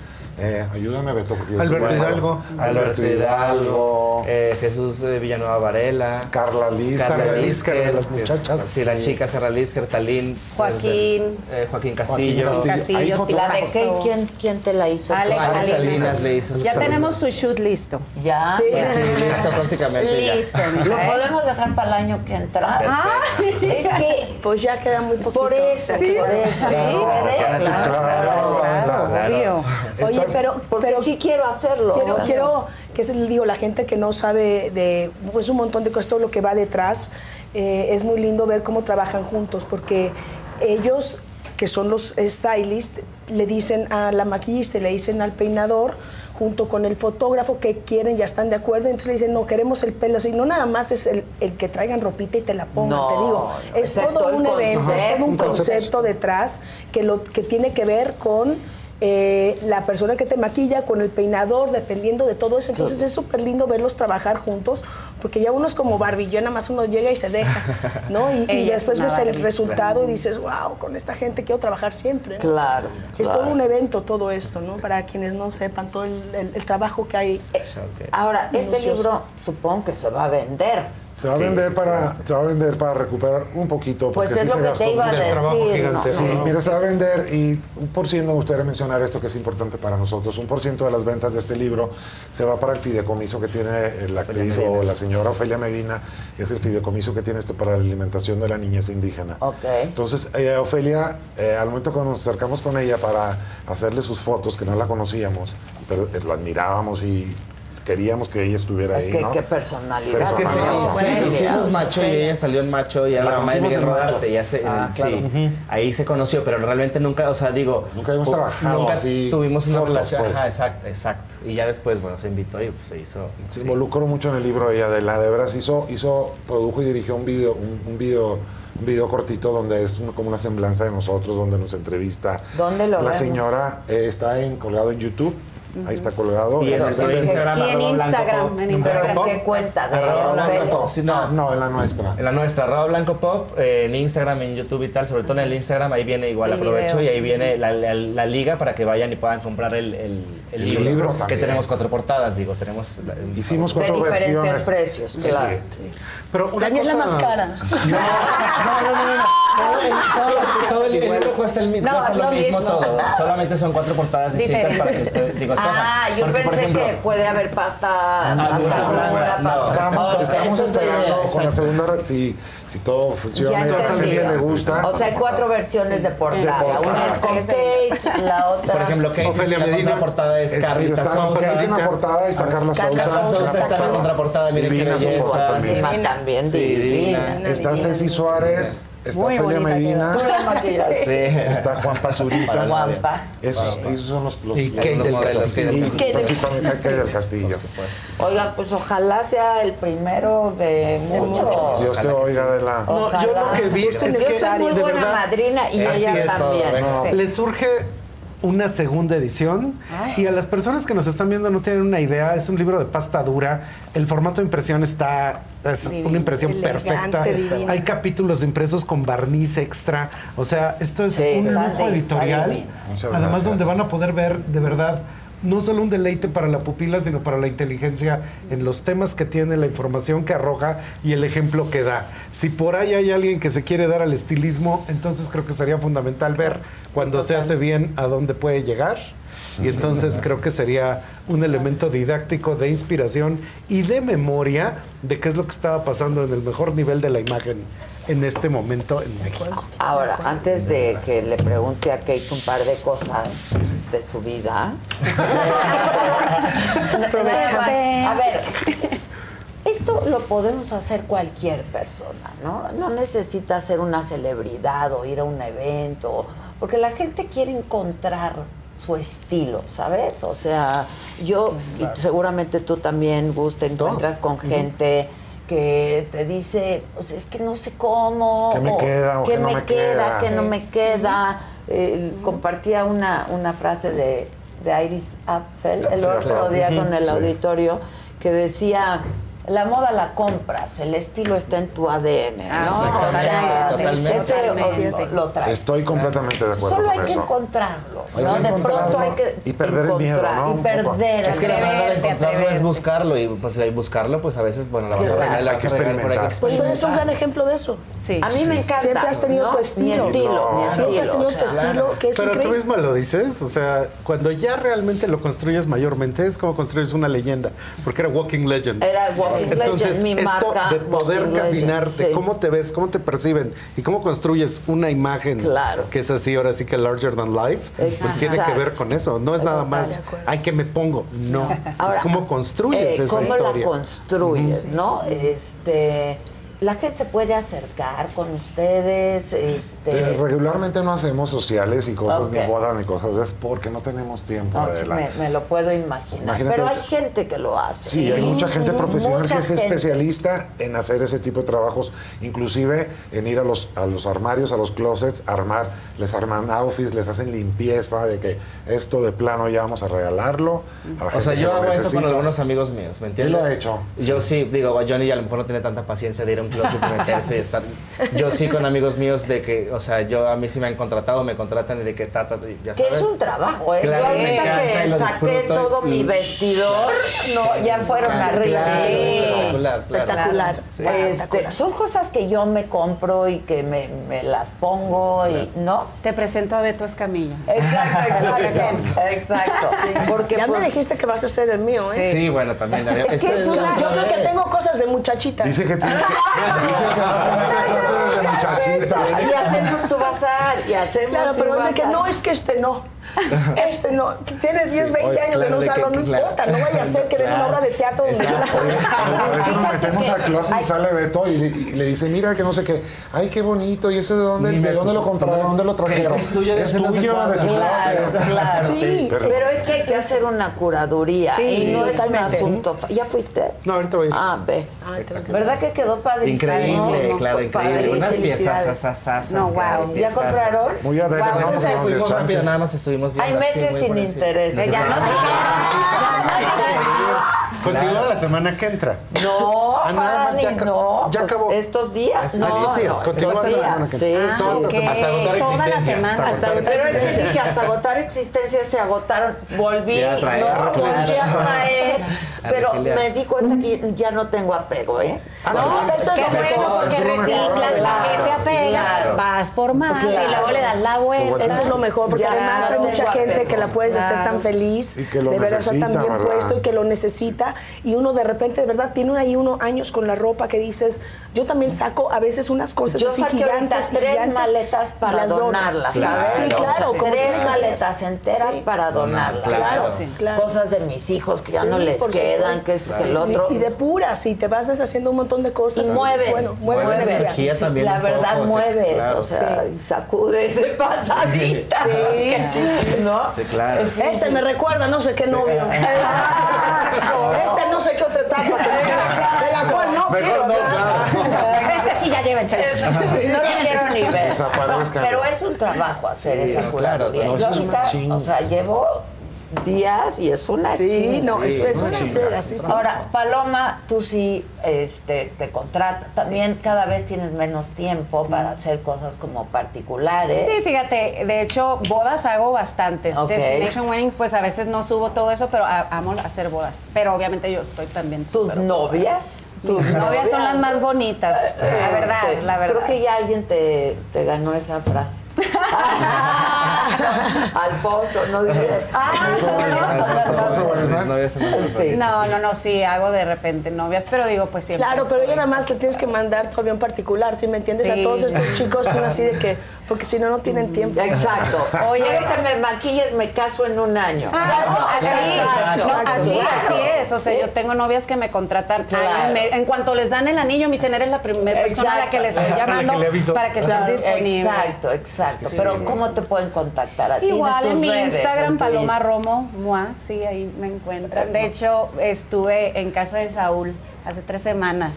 De con su esposa maquillando, vimos Sí, en San Diego. Sí, claro. Sí, sí, Ah, sí, mira. sí. Pues estuvo aquí la semana Sí, pasada. lo vi, ¿Lo me lo eché Ah, todo. Me lo eché todo. Es Buenísimo. ¿verdad? Sí, Sí, Sí, premios. eso, entonces lo entrevisté y fue una gran Y entrevista. estaba buenísimo. presentando su tequila.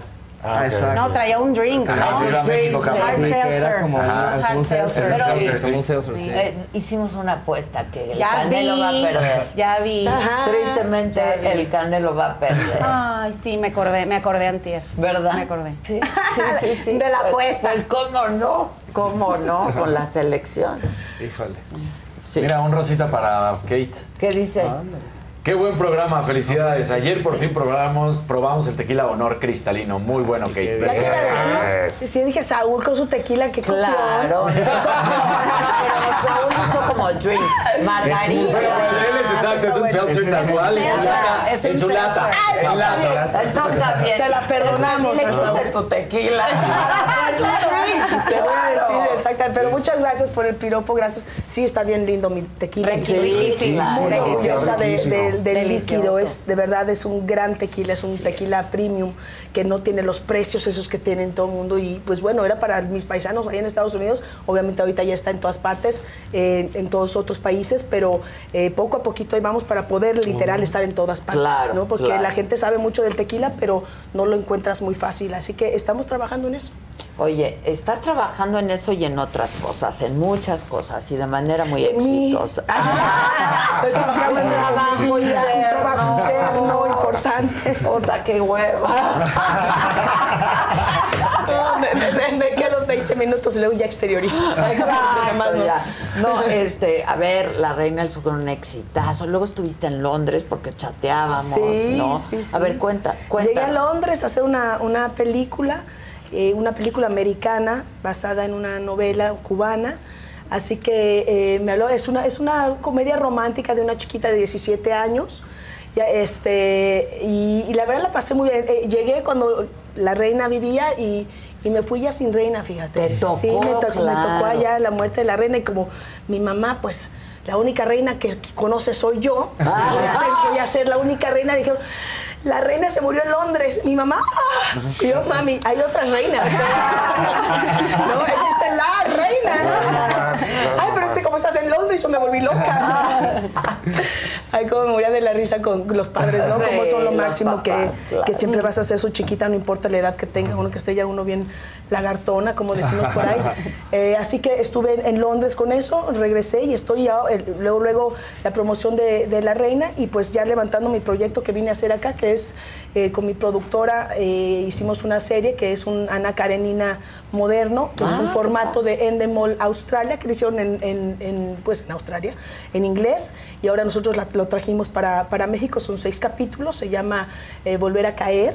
Anda. Y está, son seis capítulos, va a estar en pantalla. Así es que ya vendremos a hacer toda la promoción de eso, que mira, de las cosas que he visto en español y no es por nada, esta tiene una calidad y una elegancia y una serie tan, tan bonita, pues bueno. Obviamente es Leo Tolstoy. Pues pues. pero, pero, y sabemos todos en qué, en qué acaba, pero de, de un nivelazo.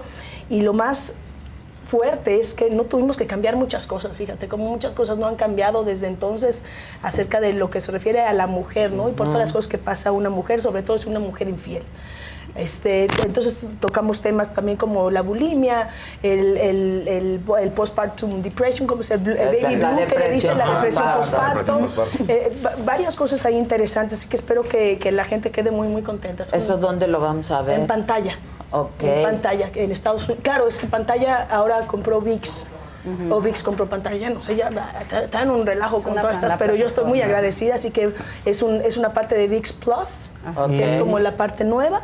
Y este. ¿Cuándo se estrena? eh, creo que se estrena el 22 de enero, si mal no recuerdo. Así es que ya vendré, voy a estar aquí en promoción. Mira, Entiendo. a mí es lo que les comentaba, que a mí me da mucha tristeza que, y siempre me quejo, siempre que vengo a México, que me entrevistan, me quejo de lo mismo, pero voy a seguir quejando. A ver. Que nunca me llaman para trabajar en México. Entonces, ahora que yo ya tengo una productora, pues. ¿Vas a tra- trabajar? Voy a trabajar en México, me provoco yo mis propios trabajos aquí en México y eso vine a hacer esta serie. ¿Cómo es eso de que no te llaman para Pues, trabajar? ¿Sabes qué? Que no, no, no lo Yo creo y quiero pensar que es de pensar que. Ay, está en Estados Unidos. Y va a cobrar Va a carísimo. cobrar, ca- es carísima de París o, o está muy ocupada o nos va a mandar. Y la verdad es que no, luego uno quisiera estar trabajando y haciendo cosas en su propio país, un país que amo con toda mi alma, ¿no? Y que me salí por, por causas de fuerza mayor porque uno quiere buscar mejores oportunidades, las cuales se me dieron. Pero sea triste tenerte que ir de tu país a buscar nueva- mejores oportunidades. Aspirar. Aspirar. Aspirar, claro. Entonces yo Que sí es bueno aspirar. quiero pensar, eso sí, depende, depende que aspires, comadre. Sí, No, es que aquí a los aspiracionistas se No, nos totalmente. cataloga como, ¿no? No, Sí, totalmente. bueno. Sí, y como además también. También yo me fui a una etapa en la que mi nombre pues era como, eh, ya tenía un nombre en telenovelas, porque yo empecé en telenovelas y a mucha honra, además me encanta porque aprendí muchísimo. Y entonces como la gente de cine estaba muy eh, divorciada en ese momento. Pero muy. Muy, y, allí- y todavía yo creo que un poco hay, hay mucho ahí... Estigma ahí. Sí, mucho estigma de Claro. todo eso, ¿no? Y tengo yo tantos años de no hacer una telenovela, pero me siguen diciendo yo cuando llego acá que soy la actriz de telenovelas, que me parece muy bien, no tengo ningún problema. Pero, ¿sabes? Entonces tengo ese rollo todavía que no me, siento que no me dan crédito aquí, ¿no? Uno, uno nunca es profeta en su tierra, como, Claro, dicen. No porque sea yo profeta, pues, pero, pero entonces me, me- me he resentido un poco, la Oye, verdad. pero no eso. cobras carísimo. No. Pues deberías, ¿no? Cobro lo que cobro lo que tengo Lo que, que- cobrar. Como Claro. dicen, uno no gana lo que lo que se merece, sino lo que negocia. Así, pues sí. Y soy buena uno- negociadora. Pues es que, a ver, Sí, no. Pero te voy a decir uno una se cosa, es que depende, a mí me llaman para un buen proyecto y yo sé el Ah, cine claro. mexicano, sé que no son los presupuestos y yo, uno feliz con tal de hacer un buen proyecto, de hacer, es como esto, ¿no? claro. Tú que No voy a andar cobrando, o sea, uno hace las cosas también por gusto, seas y estés donde estés. Claro. ¿No? Entonces eso Porque es lo que te apasiona. Es lo que Entonces, me si apasiona. te cae un buen proyecto. Lo único que sé hacer, pues, pues imagínate. Claro. Oye, este. ¿Y de amores? Pues de amores, fíjate que después, vamos a mirar, la comadre, este, después de como que ya lleva, ya te perdí la cuenta como de nueve años de, pues de salir, sí, obviamente salía con, con gente aquí y allá, pero por primera vez después de, de- de muchos años encontré a un chico maravilloso de Cuernavaca, Morelos. ¡Guau! Este, he estudiado en el CCC, es un fotógrafo muy, muy lindo, él fotografió La Reina del Sur 3, que está espectacular. Se conocieron en el set. Ahí sí. Le dije, déjame ver cómo salga al aire, a ver qué, qué tan mal me veo. Y ya veo si te digo que sí o no. Ve qué guapa te ves, qué bien iluminados Que bien estamos. ilumi- Oye, ah, no, aquí Sí. tienes un súper, una súper Wow. iluminación, ¿eh? Muy de cine, Me con encanta, mucha- no, me encanta profundidad, profundidad. tiene todo, pero uno se ve muy linda. Como decía una actriz, mira, la profundidad, dámela aquí, dámela acá, pero la cara lisita, por favor.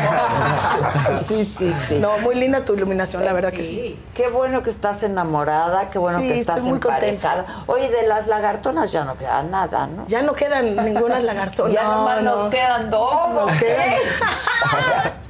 No, pues ahí andan, nos hemos, la verdad es que también la vida te va llevando por, Por otras, otras, por sí. otra, por Es otras cierto. cosas. Yo las voy a querer toda mi vida a ellas porque son parte de mi vida y uno no puede nada más decir que no, Que no pasó. que ya no Que pasó, acabó. ¿no? Hay una historia ahí, las quiero mucho y, y- y eso, pero pues nos hemos ido por diferentes caminos también. Oye, ¿cuándo me das una entrevista? ¿Y esto qué es? No, no. Esto, esto venimos a promover a Estoy de los acuerdo. muchachos, ¿Sabes qué? Te a deberías de compartir venir, el te talento. deberías de venir a Los Ángeles, así no nos va a costar tanto palomita. que venga a es ¿no? claro. Y, este, y te vienes a mi casa te- con mucho gusto. Ya hicimos Y ahí- esa entrevista, ya hicimos te una, cambiaste de casa. No, sigo en la misma tan casa. bonita en la misma casa, la Ay, verdad. muchas sí, gracias. Pues, súper con, con mucho, con mucho Este, esfuerzo. Pero si vas a estar aquí esta semana y tienes un ratito, tenemos otro set por ahí. Ya, ya, ya, ya lo vi, ya estuve ahí de me- Yo de quiero metiche. decirles, se los comentaba que Kate fue madrina de este proyecto. Sí, ¿hace en la qué? plata- ¿Ocho años ya? Siete. Siete, wow. Este, Era la plataforma nada más, ¿no? Hace cinco abrimos el canal. Ah. Este. Y bueno, pues es- esto es lo que se ha logrado a partir de esa entrevista. Fue la primera entrevista que subimos al portal, ¿no? Sí, Este, me- siento muy le hicimos- orgullosa de eso. Yo muy orgullosa de ti siempre. Este, la verdad es que hemos sobrepasado momentos difíciles ¿Cómo las no? dos, en todos Y sentidos. tú siempre has sido, te- te- siempre has estado muy, no nada más que muy linda conmigo, porque no tendrías por qué ser mala onda, no es, no es que uno sea lindo o no, eh, te ha interesado lo que ha pasado conmigo y Siempre. eso voy a estar agradecida siempre. Siempre, yo contigo. Muchas gracias, Kate. Pero si tienes un ratito, hacemos una Te lo- entrevista por te- ahí. Por supuesto que sí. En esta ocasión no puedo porque me voy pasado mañana y estos me Ah, traen. ya te vas. Ajá, pero voy a regresar. Para la promoción. Sí. Pero si no, yo voy a Los Ángeles También, por Adela. también, no, mi hija está viviendo ahí. Ah, sí. Mi hija estudió cine. Bueno, te voy a contactar. Pues Las lo que le voy a decir que necesite- te No creo busque. que necesite mucho, pero lo que necesite yo estoy ahí. No, no, bueno, pues tú estás Con haciendo lo que a ella le gusta. Con y mucho sí, gusto, sí, claro que sí, y es bien. talentosa además. No lo dudo, Bien no talentosa. Qué padre. Estas wow. nuevas generaciones, la verdad, a mí me escribe increíble. Este, vienen superdotados todos, de verdad. Yo estoy porque mi novio también es de nueva generación. Sí. ¡Vientes! Por eso me veo tan, tan, tan, tan joven. Como debe ser. pero, pero, ¿sabes? Es muy lindo, ¿no? Y claro. no, esto, todo eso es un chavo bien preparado. Vienen todos bien preparados y eso me encanta, me encanta que tengan una cultura y eso es importantísimo. Pues sí, sin duda. Y traen muy buen chip. Mi hija se encargó de hacer todos Todo. los sets, ¿no? Oh, wow. El diseño. ¿Vieron Lucifer? La serie Lucifer. La serie. Sí. El diseño de esta crees? y del de allá lo ¿no? hizo el que hizo todo el diseño de, Yo soy Lu- fan de de Lucifer. Lucifer. Sí, Yo también, soy súper fan de sí. Lucifer, sí. A propósito de Ana Karenina, vi una serie ayer este, que se llama Sangre, Sexo y... Sangre, sexo. No, pues ya con Blood, eso. sex. Ya, ya la quiero ver. ya. And Royalty, creo. Ah, Este, está en Netflix y es de la historia de Ana Bolena. Ay, guau. Está increíble, son tres capítulos nada más, es una docuserie. Está, Ah, es docuserie. Ah, qué bien. pero Está muy bien hecha, muy, muy, muy bien hecha. Este, conoces al personaje de Ana Bolena. Es que Ana Bolena. Blood, Sex and wow. Royalty. Wow. Pero ¿cómo se llama la serie? Ana Bolena. Sex and Royalty. Ah. Sangre, Sangre, sexo, y realeza. Sí, realeza. Tal cual como Realeza, dijiste. Como lo dije. ¿verdad? Sí, sangre, sexo y realeza. Sí, este y eh, está muy buena, véanla, porque esto que decías que todavía sigue esta problemática tan actual. ¿no? Con las Increíble. mujeres, etcétera. Este, pues que a ella, el rey, bueno, finalmente Enrique se VIII, casa con, con Enrique, Enrique VIII, VIII, claro. ¿no? Eh, pero Enrique VIII quería un heredero hombre, Sí, a fuerzas, claro. a fuerzas. Y entonces ella tiene una hija primero y luego tiene un aborto espontáneo y luego Sí, nunca ¿no? alcanza a tener el hijo y lo que y, y le, la- le cortan la cabeza por instrucciones del rey no este lo que nunca se enteró Ana Bolena que su hija Isabel fue reina de Inglaterra ¿no? Isabel I Oh, mira. es una gran historia Sí, sí. ¿no? Padre. este véanla porque está Wow, muy buena. Que, que, tampoco ha cambiado sí. mucho nada, ¿no? Siguen, siguen cortando cabezas los, es lo los que te reyes. digo, es lo que es lo que te digo, Sí, es lo que te digo. Sí. Oye, este, ¿y tu pa cómo está? Gracias a Dios muy bien. Ayer me fui a, a comer con ellos y este están espectaculares. Mi papá sigue trabajando, gracias a Dios. Eso es increíble, Sigue estando la perfectamente bien, porque sí. por ahí dijeron que ya estaba no sé qué, por algún video que subió mi hermana, que no, Que no mi te papá ya- lo que sí es que ya no ve bien. Entonces, este, no me, no me reconoció en ese momento, pero lo que sea, pero entonces hacen, ya lo han matado como tres veces, que es una cosa que yo digo que, que a mí me han matado también ya tres veces, pero bueno, mi, mi papá, imagínate, ¿no? Claro que le, le afecta eso a todo el mundo. Han hablado mis, mm, no, tenemos familia por todas partes, en Torreón, y así hablan así de que mi mamá y mi mamá no, pero de momento, claro que mi mamá, es, ay, no, si está Pues aquí al lado de mí. claro, Ah, no. Exacto, es pero es terrible, es terrible y que ya está no sé qué y que está eh, pero mi papá está más cuerdo que nunca. Con los ¿Qué edad tiene tu papá? 88. Está Wow. increíble y no deja de trabajar y creo que eso es lo que lo mantiene Y también tan, guapo, también y- guapo, entero y entero de, de todo, ¿no? Así que para mí es un, imagínate, pues mi- mi- mis papás los amo con toda Pero mi está alma. lúcido, eso de que no te igual que mi, reconoce. no, está lúcido, está más lúcido que nunca. Lo que pasa es que ya no ve bien. Mi papá ya no puede leer porque tiene eh, una ¿Cataratas cosa, no cataratas, eh, la, la, ¿cómo se llama? La, la- ma- ma- ay, se me, se me fue. ¿Degeneración macular? No, ahorita, te voy, ahorita me va a regresar el nombre de una partecita. la tiene y, y no, de- completamente deteriorada y no hay manera, no hay ni operación ni la mácula. Pero la mácula. Entonces eh, hay una degeneración ahí que no, y que no hay manera de, de arreglarlo. Así que este, ya no puede leer guiones, los tiene todos que escuchar o se los lee mi madre o se Ah, aprende todo a- a fonéticamente y cosas así porque ya no puede leer. Entonces eso es lo único que tiene mi pa- padre, que no es poca cosa, pero fuera de eso está lúcido completamente, Wow. mentalmente, igual mi madre. sí. Oye, ¿cuántos, ¿cuántos años llevan casados tus padres? 53, 54 por ahí. ¿Por qué nunca aprendimos eso? Yo voy a seguir haciendo el intento, a ver. ¿Cuántos matrimonios Yo llevan? llevo dos matrimonios. Dos, matrimonios. Que- Creo que ya no los- lo importante no es preguntar cuántos matrimonios, sino cuántos divorcios. Exacto. Porque luego se casan y no se divorcian. No, yo sí, dos y dos. Sí, yo también. Dos y dos. Dos y dos. Sí, sí, también. Sí, dos y dos. Pero no lo ya- volverías a hacer. yo- no, tú. No, hombre, ¿cómo para pa' nada. qué? Si no lo quería hacer desde la primera. Sí, exacto. Pero como somos mexicanitas, Claro. salí de mi casa. ¿Hijos nunca quisiste tener? Nunca. Nunca, fíjate, eso me lo preguntan mucho. Nunca quise tener hijos. Tuve muchas oportunidades, no nada más en los dos matrimonios, sino. eh, Con pareja, Con, con pareja y nunca. Nunca tuve esa urgencia, porque a veces te veo muchas amigas que tienen, no esa urgencia, esa determinación, que saben que quieren ser madres desde siempre. Y yo nunca, nunca lo quise. Y, y- y la verdad es que cada vez me aplaudo más esa parte. Esa ¿no? Hay- esas decisiones que luego te empujan mucho y uno hace cosas como lo, lo que yo hice, casándome dos veces, porque había mucha presión, porque salí de casa de mis padres como buena mexicana, viniendo de una familia muy conservadora. ¿no? Entonces, ¿qué es lo que sigue es casarte y luego lo que sigue es tener hijos? Gracias a Dios, él fue tan de- desgraciado, tan rápido que no hubo tiempo. ¿no? Exacto. Pero, este, no, pero, ¿sabes? Nunca, nunca estuvo en mi mente. Ese tener- deseo ahí es. Nunca, nunca, nunca lo quise, nunca tuve esa- ese, ese deseo, como tú dices. Ya. Pues te ves espléndida. ¿eh? Ay, muchas hacen gracias. un gran trabajo. Ella es muy bella de Muy por sí, bella, claro, pero hacen un gran trabajo también. ¿Cómo no? Felicidades por este libro. Muchas gracias. Este, Muchas gracias. Está en línea. Está en Blanco Pop, está como Blanco Pop en Instagram, en todas las redes. ¿Lo mandan a todos lados? O sea, la gente en Estados Unidos lo puede comprar, llega hasta allá. Ustedes pidan. Que ustedes pidan llegar. Sí, y la- todo lo- los envíos en Ciudad de México no, es, es- no tienen costo. Fuera de las ciudades cuando se tiene costo dependiendo de Bueno, el pues libro. sí, pues Claro, sí. Pero todo aquí en la Ciudad de México, todo Es un gran regalo, ¿eh? Bueno, pues Navidad. es un gran regalo sí. y de verdad que se va a acabar. Entonces la gente que lo está viendo, síganlos de entrada, porque van a estar Sí. ustedes subiendo Y páginas ahorita del libro y váyanlo comprando para sus fiestas y para conservarlo para toda la vida como un escalón Sí. de lo que se hace en México cuando se tiene calidad y corazón. Sí, eso es Muchas calidad gracias, de corazón. muchas gracias, muchas No, gracias. felicidades, Muchas gracias. Al contrario, Gracias, te quiero mucho, te felicito mucho. mucho, siempre Gracias. trabajando. Muchas gracias. Este, pero tenemos luego que platicar largo. Va- lo tenemos que hacer. Eh, lo sin tenemos duda, que hacer. Con gusto. Y gracias a ustedes, este, muchas gracias. Nos vamos al bazar, todos vamos a Claro, en este que momento. venga todo el mundo al Al ba- bazar. Que venga todo el mundo al bazar. A ver, los stylists que digan qué tal Tienen que venir al bazar, no saben qué increíbles. Van a encontrar unas, Unas piezas, piezas. espectaculares. Yo vi unos zapatazos. eh, bueno, bolsas unas bolsas. No, unas bolsas de Hermes, Y- perdóname. ¿Y qué tal la, la mort?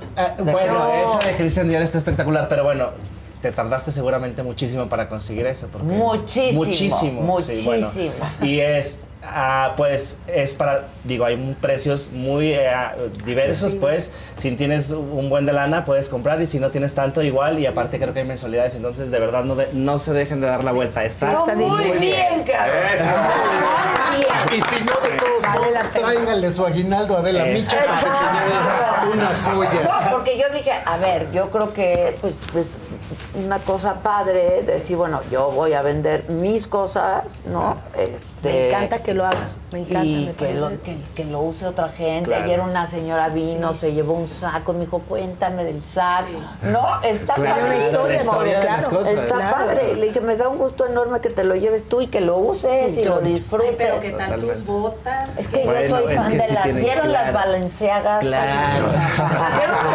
Me encanta. El esas cuatro Ah, mexicano. No, sí. si yo veo esos zapatos, yo dije, no, ojalá Es que estuviera yo así de alta. Pero bebe el luxazo, Sí, esa edad. No, es que ella siempre está espectacular. ella siempre ha sido un statement de moda. Muchas gracias. Muchas Me gusta el traperío y los accesorios. Me gusta que lo disfrutas. Exacto, colaborar. Lo disfrutas, se nota cuando, te- estás al aire y eso Pero es que además me gusta disfrutas. comprar cosas Icónicas. que- ajá, que no todo el Sí, mundo únicas. tiene. Peculiares. Y No, que no ve. necesariamente son caras. Claro, ¿no? sí, o sea, hay que claro. comprar lo que te gusta. Totalmente, Claro. totalmente. De Pues lo gracias. portas muy Gracias a bien. Muchas gracias. Felicidades. Gracias. Vamos arriba, Gracias, ahí los esperamos. Palmas 936, cuarto piso, hay de todos los precios, hay mensualidades, hay de tocho, morocho, tallas, todo, todo hay. Todo hay. Ahí los esperamos, gracias. Venga. Ya está. Gracias. Gracias. Bravo. Thank you.